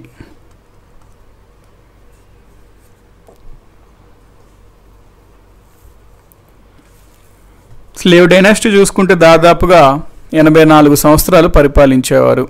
Eighty four years. Khilji వంశం వాళ్ళు అతి తక్కువగా ముప్పై సంవత్సరాలు పరిపాలిస్తారు. తుగ్లక్ వంశం వాళ్ళు దాదాపుగా మనకి తొంభై నాలుగు సంవత్సరాలు నైంటీ ఫోర్ ఇయర్స్ పరిపాలిస్తారు. సయ్యద్ వంశం వాళ్ళు fourteen fourteen to fifty one. Ten twenty thirty thirty seven years పరిపాలిస్తారు. Lodi వంశం వాళ్ళు fourteen fifty one to fifteen twenty six అంటే seventy seventy five years పరిపాలిస్తారు. Seventy five years. ఈ స్లైడ్ ఇంపార్టెంట్ అండి డేట్స్.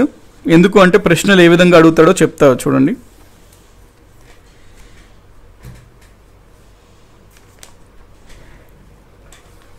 ఈ slide గుర్తుపెట్టుకోండి. ప్రశ్నలు ఏ విధంగా అడుగుతాడో చూడండి ఈ స్లైడ్ మీద. ఫస్ట్ క్వశ్చన్ ఢిల్లీ సుల్తాన్స్ని పరిపాలించిన వంశక్రమం రాయమంటాడు. అంటే ఆర్డర్లో. దానికి ఎస్కేటి ఎస్ఎల్ ఎస్కేటిఎస్ఎల్ అనే ఒక కోడ్ లాగా మీ ఇష్టం వచ్చిన కోడ్ గుర్తుపెట్టుకోండి. ఎస్కేటి ఎస్ఎల్ అనే కోడ్ని గుర్తుపెట్టుకోవచ్చు.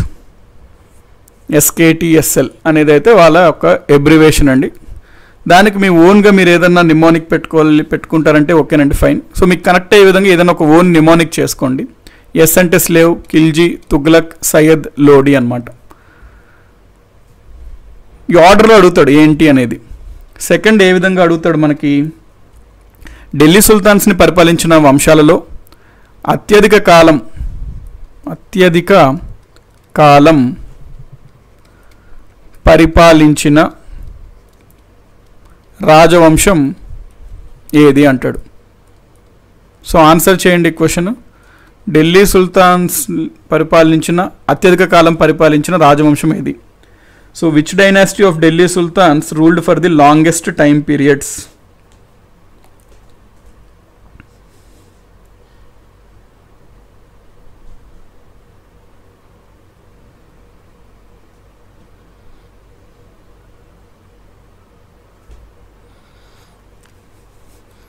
so మనం అప్పుడు ఇందాకే చూసుకున్నాం. నైంటీ ఫోర్ ఇయర్స్ పరిపాలించిన తుగ్నక్ వంశం వాళ్ళు అని ఆన్సర్ చేసుకోవాలి.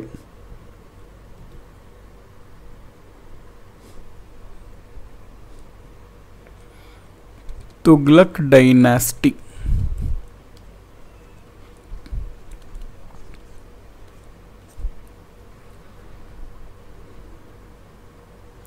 నెక్స్ట్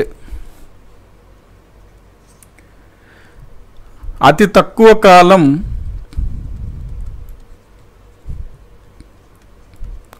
పరిపాలించిన రాజవంశం ఏది అంటాడు? అది తక్కువ కాలం అంటే మనకి ఇక్కడే చూసాం ముప్పై సంవత్సరాలు. అప్పుడు మనము ఖిల్జీ డైనాసిటీ అని ఆన్సర్ చేయాలి.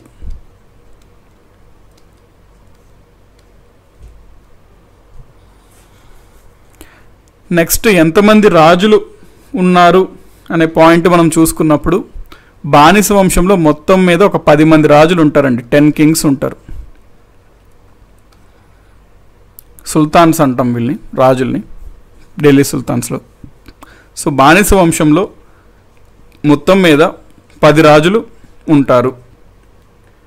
లోడీస్లో ముగ్గురు రాజులే ముగ్గురు రాజులు మాత్రమే ఉంటారండి.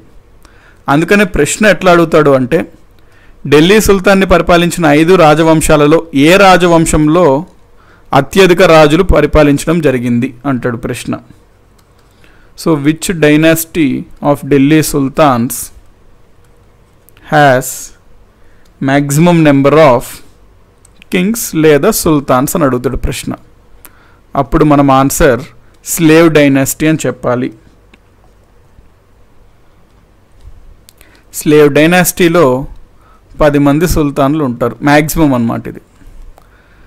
ఇంకొక రకంగా ప్రశ్న ఎట్లా అడుగుతాడంటే which dynasty of Delhi sultans Delhi సుల్తాన్లో ఏ వంశం వారిలో అతి తక్కువ రాజులు ఉన్నారు? Has least number of sultans అని అడుగుతాడు ప్రశ్న. అప్పుడు మనము ఆన్సర్ లోడీస్ అని చెప్పుకోవాలి. కేవలం ముగ్గురు రాజులు మాత్రమే. Three kings. Only three kings అన్నమాట.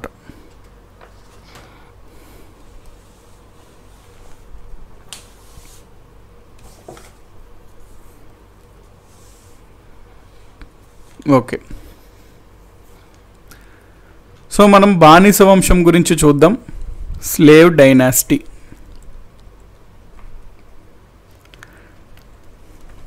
స్లేవ్ డైనాసిటీ మొత్తం వంశమైతే పన్నెండు వందల ఆరు నుంచి పన్నెండు వందల తొంభై. స్లేవ్ డైనాసిటీ మొట్టమొదటిగా స్థాపకుడు ఎవరండి? అంటే ఎవరు? బానిస వంశాన్ని ఏర్పాటు చేశాడు. లాస్ట్ క్లాస్లోనే మనము లాజికల్గా చూసాం ఏ విధంగా అతను ఏర్పాటు చేస్తాడు అని. పన్నెండు వందల ఆరులో మొహమ్మద్ గోరి చనిపోవడంతో కుతుబుద్దీన్ ఐబక్ కుతుబుద్దీన్ ఐబక్ అనే అతను బానిస వంశంని ఏర్పాటు చేస్తాడు. పన్నెండు వందల ఆరులో. ఈ కుతుబుద్దీన్ ఐబక్ అనే అతను డేట్స్ ఇంపార్టెంట్ అండి. Twelve hundred and six to twelve hundred and ten పరిపాలిస్తాడు. Qutbuddin Aibak so మనం ఇప్పుడు కుతుబుద్దీన్ ఐబక్ గురించి ప్రస్తావించుకుందాము. కుతుబుద్దీన్ ఐబక్ యొక్క బిరుదు ఉంటుందండి ఆ బిరుదుతోనే ఆయనని చాలా యొక్క గ్రంథాల్లో ఆయన పేరుతో కంటే ఆ బిరుదుతోనే ఎక్కువగా చెప్తుంటారు. సో ఆయన బిరుదు ఏంటి అంటే లాక్ బక్ష్ అనమాట సో ఆయన బిరుదు లాక్ లాక్ బక్ష్.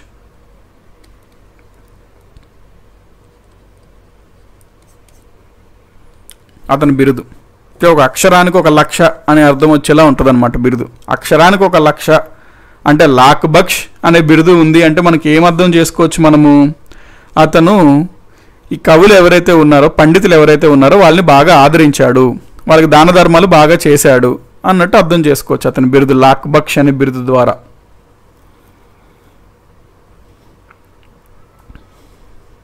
ఓకే.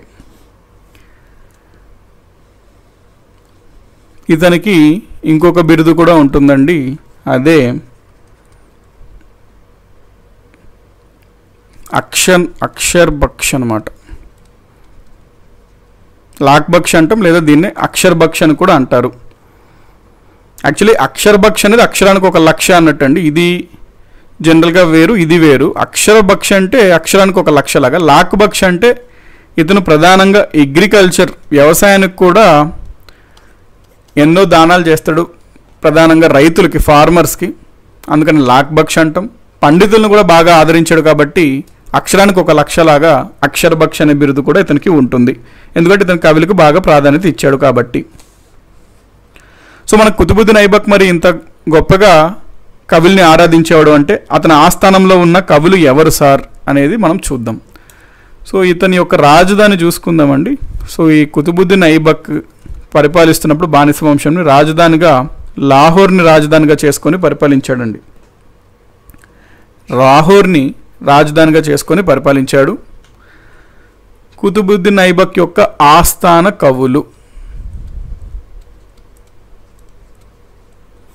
కుతుబుద్దీన్ యొక్క ఆస్థాన కవులు ఇద్దరు ఉంటారండి ఒకరు హసన్ ఉన్ నిజాం.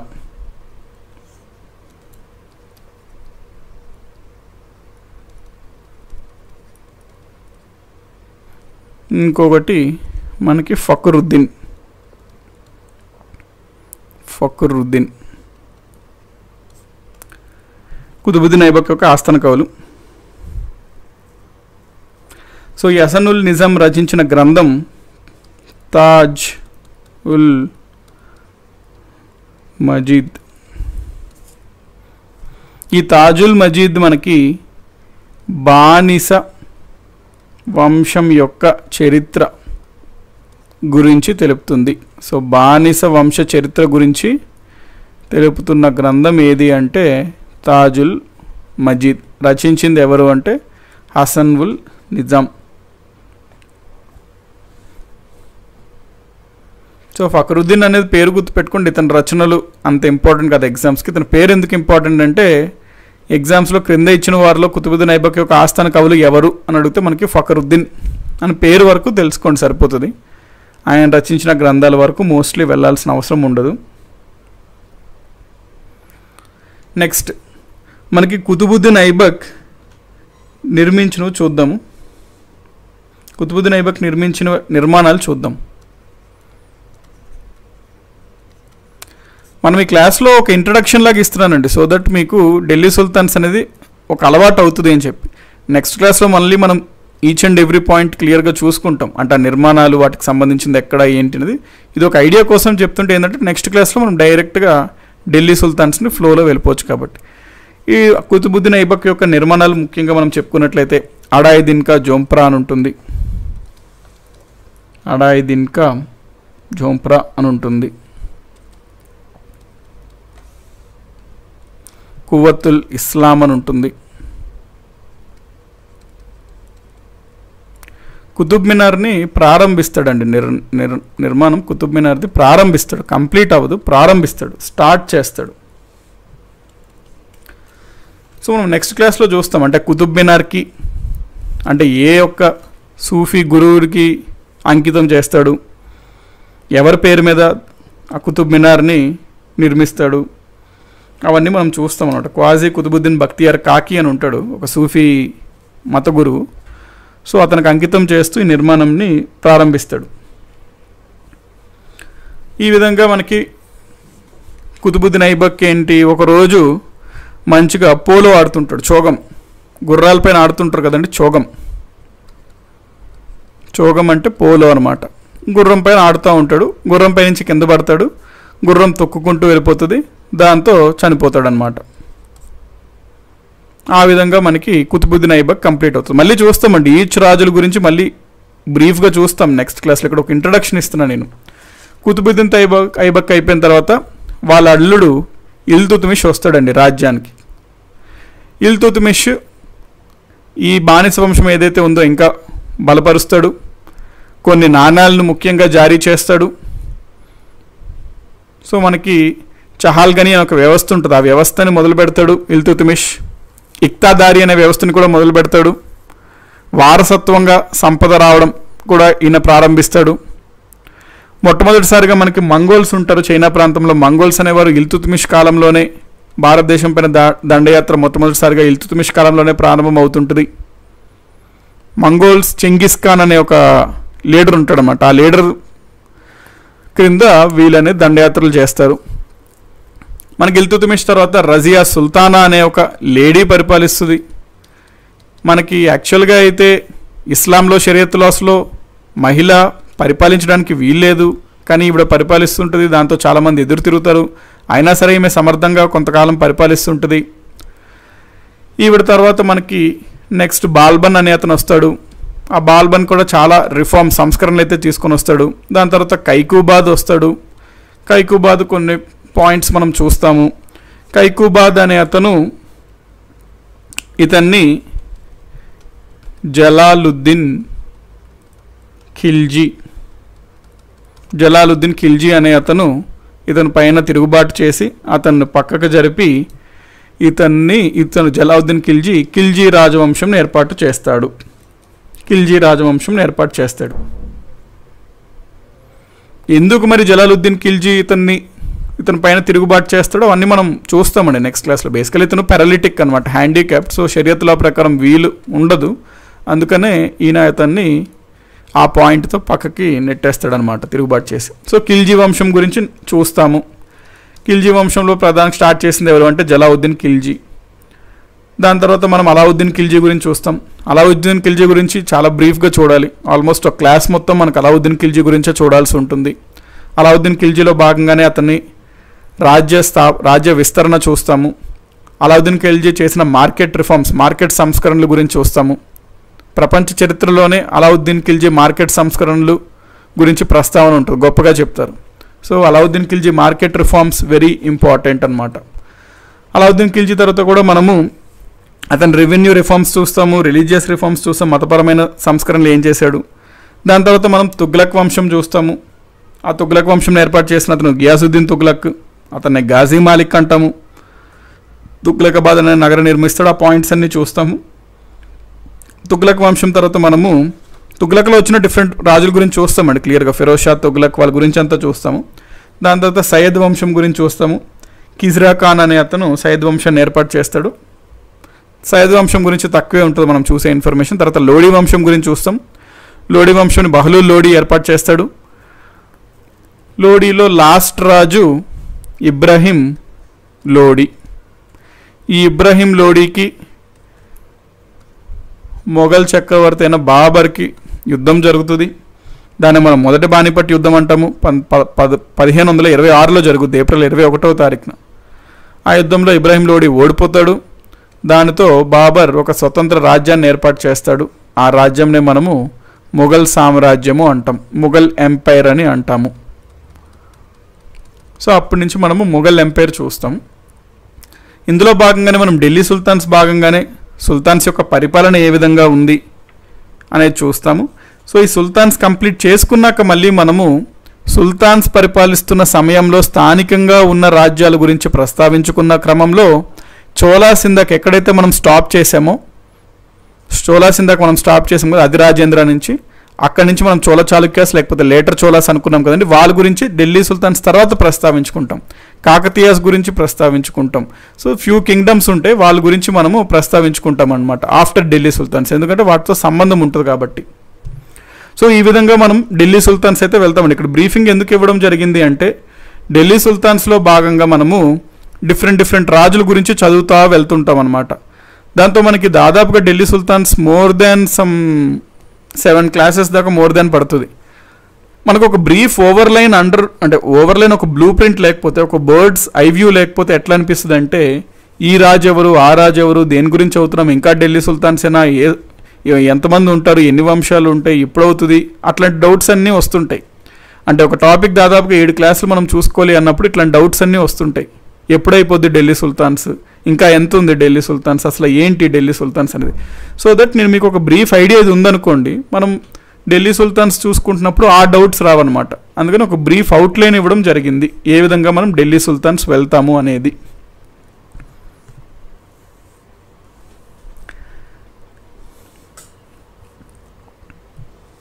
ఓకే సో మనం ఈ పాయింట్స్ అయితే వెళ్తామండి. పద్మావత్ మూవీ అన్న పద్మావత్ మూవీ మనకి అలావుద్దీన్ ఖిల్జీకి సంబంధించింది. ఇల్తుత్మిష్ కంప్లీట్ చేస్తాడు. ఓకే మీరు మేబీ కుతుబ్ మినార్ అని అంటున్నారేమో. అవునండి ఆ పాయింట్స్ అన్నీ మనము చూస్తామన్నమాట క్లియర్గా. మళ్ళీ అగైన్ సేమ్ స్లేవ్ డైనాసిటీ బానిస వంశం నుంచి మళ్ళీ వస్తాం. ఢిల్లీ సుల్తాన్స్ ఫ్రెష్గా స్టార్ట్ చేస్తాం నెక్స్ట్ క్లాస్లో. కాకపోతే కావాల్సుకునే లాస్ట్ ఒక ట్వంటీ మినిట్స్ అలొకేట్ చేద్దాం అనుకున్నా. సో దట్ ఏంటి అంటే ఒక బ్రీఫ్ అండర్స్టాండింగ్ ఉంటుంది ఏ విధంగా వెళ్ళాలి. ఇక్కడి నుంచి మనం ఢిల్లీ సుల్తాన్స్ చాలా బ్రీఫ్గా చూస్తామండి. అంటే కొంచెం ఒక్కొక్కరి గురించి క్లియర్గా చూస్తాం. తర్వాత మొఘల్స్ని కూడా చాలా క్లియర్గా చూడాలి ఒక్కొక్కరి గురించి. మెయిన్గా తర్వాత విజయనగర ఎంపైర్ గురించి కూడా మనం ఇండెప్త్గానే చూస్తాము. విజయనగర ఎంపైర్. బహ్మనీస్ గురించి కూడా కాస్త డెప్త్గానే చూడాల్సి వస్తుంది మెడివల్ ఇండియాలో బహ్మనీస్ గురించి కూడా. ఈ కాకతీయాస్ లేటర్ చోలాస్ వాళ్ళ గురించి బ్రీఫ్గా చూస్తాము. ప్లస్ ఇందులో భాగంగానే మనకి ఏ విధంగా అయితే ఏన్షియంట్ ఇండియాలో చిన్న చిన్న రాజ్యాల గురించి చూసామో అదే రకంగా మనం మధ్య భారత చరిత్రలో కూడా మెడివల్లో కూడా చాలా రాజ్యాల గురించి చూస్తామండి. ఫర్ ఎగ్జాంపుల్ బెంగాల్ ఏ విధంగా ఉండేది ఆ కాలంలో? నెక్స్ట్ మాల్వా ప్రాంతం ఏ విధంగా ఉండేది? గుజరాత్ ఏ విధంగా ఉండేది? మేవాడ్ ఏ విధంగా ఉండేది? మేవాడ్ ఆ మేవాడ్లో భాగంగానే మనము ఆ పాయింట్ చూసుకుంటాం. Padmaavat cinema story. కాశ్మీర్ ఏ విధంగా ఉండేది ఆ కాలంలో అనేది చూస్తాం. సో ఇవన్నీ పాయింట్స్ కూడా మనము మెడివల్ ఇండియాలో చూసుకోవాలి.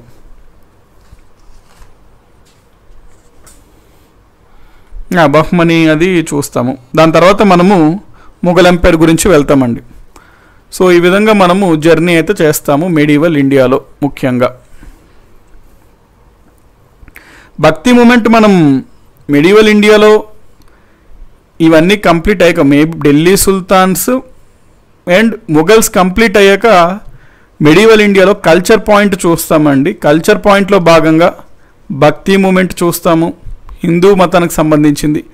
అదే టైంలో ఇస్లాం మతానికి సంబంధించిన సూఫీ మూమెంట్ గురించి చూస్తాము. అవి కూడా చూస్తామండి. కాకపోతే మొఘల్స్ తర్వాత చూస్తాం. As a part of medieval ఇండియానే medieval ఇండియాలో భాగంగానే మనము ఈ రెండు చూస్తాం. అంటే బేసికలీ ఇవన్నీ రెం- ఈ రెండు ఏంటి అంటే అప్పట్లో మనకి భారతదేశంలోని ఇండియాకి ఇస్లాము ఈ రెండు మతాలు కలయిక వల్ల ఆ ఇన్ఫ్లుయెన్స్ వల్ల ఇండో ఇస్లామిక్ కల్చర్ అనేది ఏర్పడుతుంది అనమాట ఆ ఇండో ఇస్లామిక్ కల్చర్లో భాగంగా మనం భక్తి మూమెంట్ సూఫీ మూమెంట్ చూస్తాం. స్లో ఇండో ఇస్లాం కల్చర్ అనేది మనం ఎప్పుడు చూడాలి?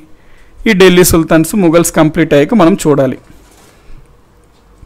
అందులో చూస్తాం భక్తి మూమెంట్లో డిఫరెంట్ డిఫరెంట్ మతానికి చెందిన వాళ్ళు ఉంటారు వాళ్ళ గురించి చూస్తాం. అదేవిధంగా మనం ఇండో ఇస్లాం ముఘల్స్ కంప్లీట్ అయ్యాక నిర్మాణాల్లో కూడా వీళ్ళిద్దరు శైలి ఉంటుందండి. అందులో ఇండో ఇస్లాం ఆర్కిటెక్చర్ కూడా చూస్తాం అన్నమాట ఇండో ఇస్లాం ఆర్కిటెక్చర్. సో ఈ రకంగా మనం బేసికలీ వెళ్తామండి. Medieval India. దాని తర్వాత మనం వన్స్ మిడివల్ కొంతవరకు కంప్లీట్ అయ్యాక మొఘల్స్ తర్వాత ఇవన్నీ పాయింట్స్ చూసాక దాదాపుగా మోడర్న్ హిస్టరీ ఎంటర్ అయిపోయే స్టేట్లో ఉంటాము. జస్ట్ మోడర్న్ హిస్టరీ ఎంటర్ అయ్యే ముందు కొంత పార్ట్ మనము మరాఠా ఎంపైర్ అవన్నీ బ్రీఫ్గా చూసుకుంటాం. దాని తర్వాత మోడర్న్ హిస్టరీ స్టార్ట్ అయిపోతుంది. ఇంకా మనం మరాఠాస్ టిప్పు సుల్తాన్స్ వాళ్ళ గురించి చూసుకున్నట్లయితే ఇంకా మోడర్న్ హిస్టరీ స్టార్ట్ అయిపోయింది కానీ భావించవచ్చు.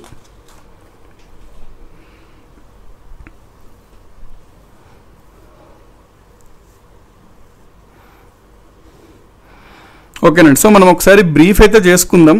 ఏదైతే చూసాం. సో బ్రీఫ్ చేసే ముందు అర్థమెటిక్ అండ్ రీజనింగ్ గురించి నోట్ చేసుకోండి. మనకి అర్థమెటిక్ అండ్ రీజనింగ్ సంబంధించి జీజేపీ తెలుగు యాప్ ఉంటుంది.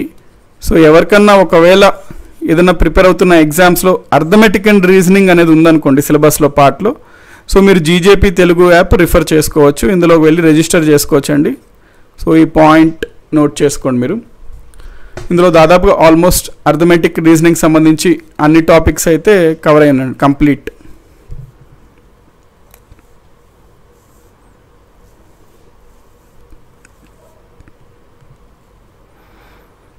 ఇంకా మోడర్న్ హిస్టరీ అంటే మనకి వన్స్ మోడర్న్ హిస్టరీ ఎంటర్ అవుతే ఇంకా మీకు తెలిసిందే కానీ మోడర్న్ హిస్టరీలో మనం ఈచ్ అండ్ ఎవ్రీ పాయింట్ చూసుకుంటాం.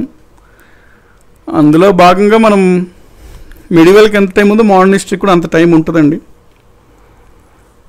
సో మీకైతే సిలబస్ అయితే కంప్లీట్ చేస్తాను అని మాట ఇచ్చా కాబట్టి ఆ మాట అయితే తప్పకుండా మాట నేను ఉంటానండి ఆ మాట పైనే. మీరు ఆ డౌట్ ఏం పడద్దు. సిలబస్ కంప్లీట్ అవుద్దా లేదా అని ఖచ్చితంగా కంప్లీట్ చేసి తీరుతానండి. అందులో డౌట్ లేదు.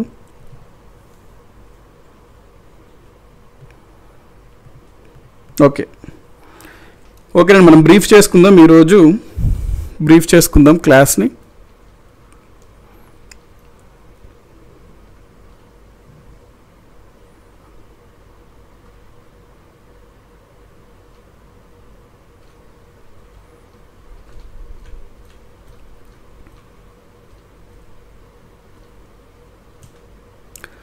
సో మనం ఈరోజు చోలాస్ గురించి చూసుకున్నాం. చోలాస్ మనకి ఫస్ట్లో సంఘంలో చదువుకున్నాము చోలాస్ గురించి. సంఘం అంటే second century BC to second century AD అంటే two hundred BC to two hundred AD ఆ టైంలో మనం చోలాస్ గురించి చూస్తాము. ఆ నెక్స్ట్ మనము ఎర్లీ మెడివల్ ఇండియాలో అంటే ఇప్పుడు మనం ప్రజెంట్ ఈరోజు క్లాస్లో చూసింది ఎర్లీ మెడివల్ ఇండియాలో చోలాస్ గురించి. ఆ తర్వాత మనం ఆఫ్టర్ ఢిల్లీ సుల్తాన్స్ చూస్తాం లేటర్ చోలాస్ గురించి. వీళ్ళనే చోళ చాళుక్య డైనాసిటీ అని కూడా అంటాము. ఎందుకంటే చోలాస్కి చాళుక్యాస్కి మధ్యన జరిగిన వైవాహిక సంబంధాలు మ్యారేజ్ రిలేషన్ వల్ల ఏర్పడిన వంశం కాబట్టి వీళ్ళ గురించి మనము ఆఫ్టర్ ఢిల్లీ సుల్తాన్స్ చూస్తాము. సో ఈ రోజు మనం క్లాస్లో ఎల్లి మెడివల్ ఇండియాకి సంబంధించిన చోలాస్ గురించి చూసినప్పుడు అందులో మనం ఏమనుకున్నామంటే ప్రధానంగా వీళ్ళు తమిళనాడు ప్రాంతాన్ని బేస్ చేసుకొని పాలించారు. వాళ్ళ యొక్క రాజుల వరుస క్రమం మనం చూసుకున్నట్లయితే ఈ యొక్క చోళ రాజ్యాన్ని విజయలయ స్థాపిస్తాడు. విజయలయ స్థాపించింది డైరెక్ట్గా ఏంటి అంటే పల్లవాస్ యొక్క సామంతులుగా స్థాపిస్తాడు. విజయలయ తర్వాత వచ్చినటువంటి ఆదిత్య చోళుడు పల్లవ ఆఖర్ రాజు అయినటువంటి అపరాజిత వర్మని ఓడించి స్వతంత్ర చోళ రాజ్యాన్ని స్థాపిస్తాడు.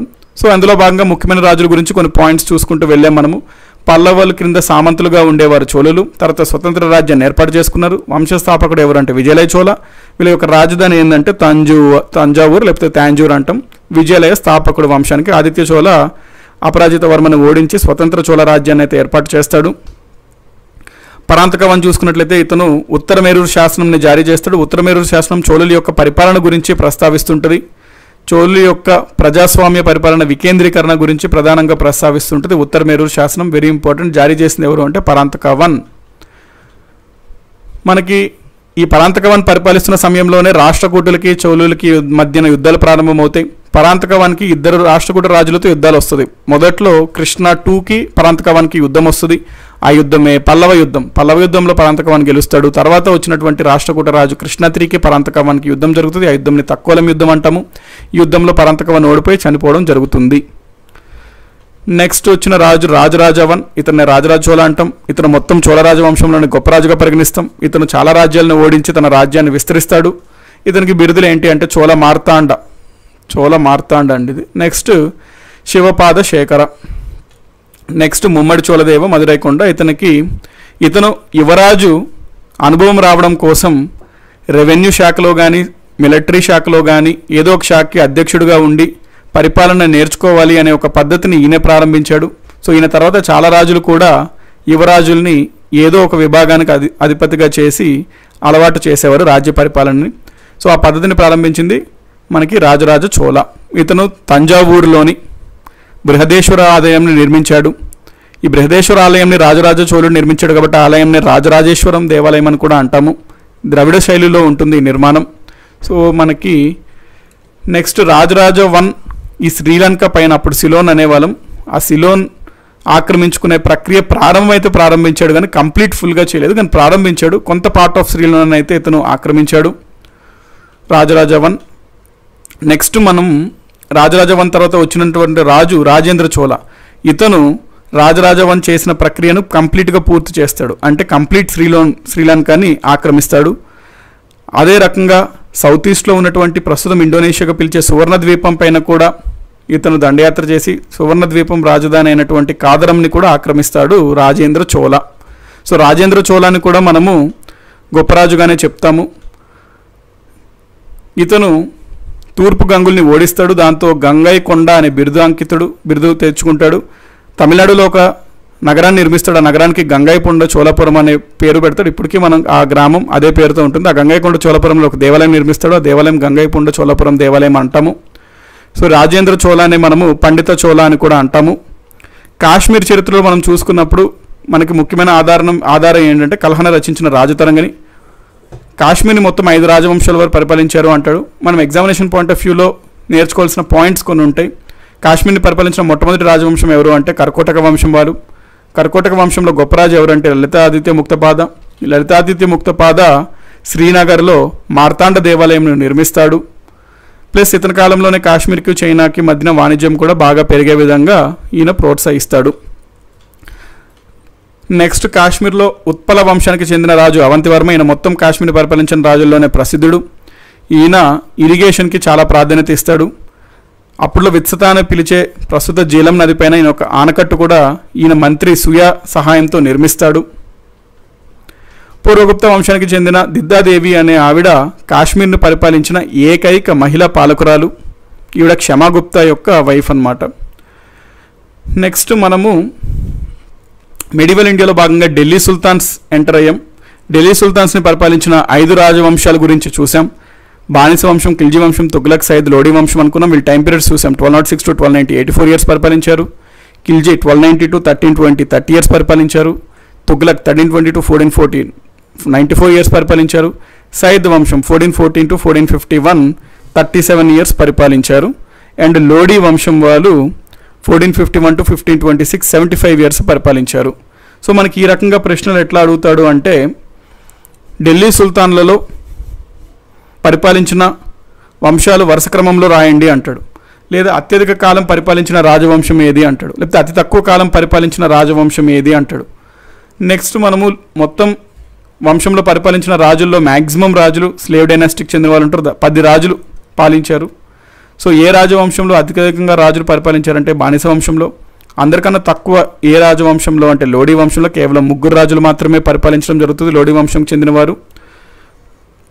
సో నెక్స్ట్ మనము స్లేవ్ డైనాస్టిక్ సంబంధించి ట్వెల్వ్ నాట్ సిక్స్ ఏడీలో కుతుబుద్దీన్ ఐబక్ అనే అతను స్థాపిస్తాడు అని చూసాము. Twelve nought six to twelve ten ఈయన పరిపాలిస్తాడు. ఈయనకి బిరుదులు లాక్ బక్ష్ అక్షర్ బక్ష్. ఈయన లాహోర్ని రాజధానిగా చేసుకొని పరిపాలించడం స్టార్ట్ చేశాడు. ఇతను ఆస్థాన కవులు హసన్ ఉల్ నిజాం ఫక్రుద్దీన్ అనుకున్నాము. ఈ హసన్ ఉల్ నిజాం తాజుల్ మజీద్ అనే గ్రంథం రచిస్తాడు. సో ఆయన చేసిన నిర్మాణాలు అదే దీనిక జోంప్రా కువత్తుల్ ఇస్లాం కుతుబ్ మినార్ వీటి గురించి అంతా నెక్స్ట్ క్లాస్లో అయితే చూస్తాము. సో మనం ఏ విధంగా మిడివల్ ఇండియాలో ఢిల్లీ సుల్తాన్స్ చూస్తాము అనే దాని గురించి ఒక బ్రీఫ్ ఐడియా అయితే తెచ్చుకున్నాము. దాని తర్వాత మనం మిడివల్ ఇండియాలో భాగంగా మనం ఏ విధంగా ముందుకెళ్తామనే పాయింట్స్ కూడా చూసుకున్నాము. సో దీంతో మనకి ఈరోజు క్లాస్ అనేది కంప్లీట్ అయిందండి. నెక్స్ట్ క్లాస్ నుంచి మనము ఫ్లోలో వెళ్ళిపోతామండి ఢిల్లీ సుల్తాన్స్ అనేది ప్రాపర్ ఫ్లోలో వెళ్ళిపోతాం. సో అక్కడ మీకు ఎటువంటి అంతరాయం రావద్దని బ్రీఫింగ్ అనేది ఇచ్చానండి. కొంత టైం తీసుకుని ఈరోజు ఢిల్లీ సుల్తాన్స్ మొఘల్స్ అయితే మనం చాలా ఒక ఫ్లోలో వెళ్ళిపోవాలి ఆ ఫ్లోలో అట్లాగా. వెళ్ళకపోతే అది అవ్వదన్నమాట. ఆ సిలబస్ అనేది కంప్లీట్ సో మనం నెక్స్ట్ క్లాస్ నుంచి అయితే ఢిల్లీ సుల్తాన్స్ మొఘల్స్ ముఖ్యంగా వీళ్ళు ఇద్దరు అయితే మనం ఒక ఫ్లోలో వెళ్ళిపోవాలి. ఎందుకంటే it takes lot of time అనమాట ఈ రెండు వంశాల గురించి చూడడానికి. సో మనం ఈ విధంగా నెక్స్ట్ క్లాస్లో అయితే వెళ్దామండి. మళ్ళీ మనము తిరిగి రేపు మార్నింగ్ అరౌండ్ యాజ్ యూజువల్ మనము ten AM to eleven thirty ఏఎంలో కలుసుకుందాం. జాగ్రఫీ క్లాస్లో అగైన్ రేపు సాయంత్రం five PM to six thirty PM మనము పాలిటీ క్లాస్ చూసుకుందాం. So until then take care అండి. Good bye each one of you మనం ఈరోజు చూసిన Cholas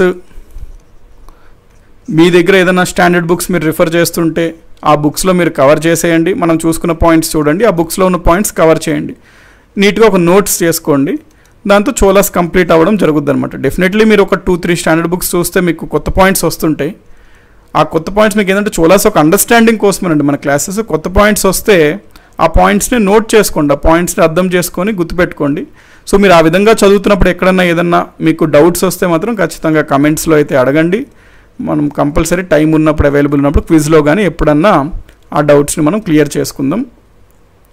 so thank you everyone అండి. మళ్ళీ మనము రేపు మార్నింగ్ టెన్ ఓ క్లాక్కి జాగ్రఫీ క్లాస్లో కలుసుకుందాము.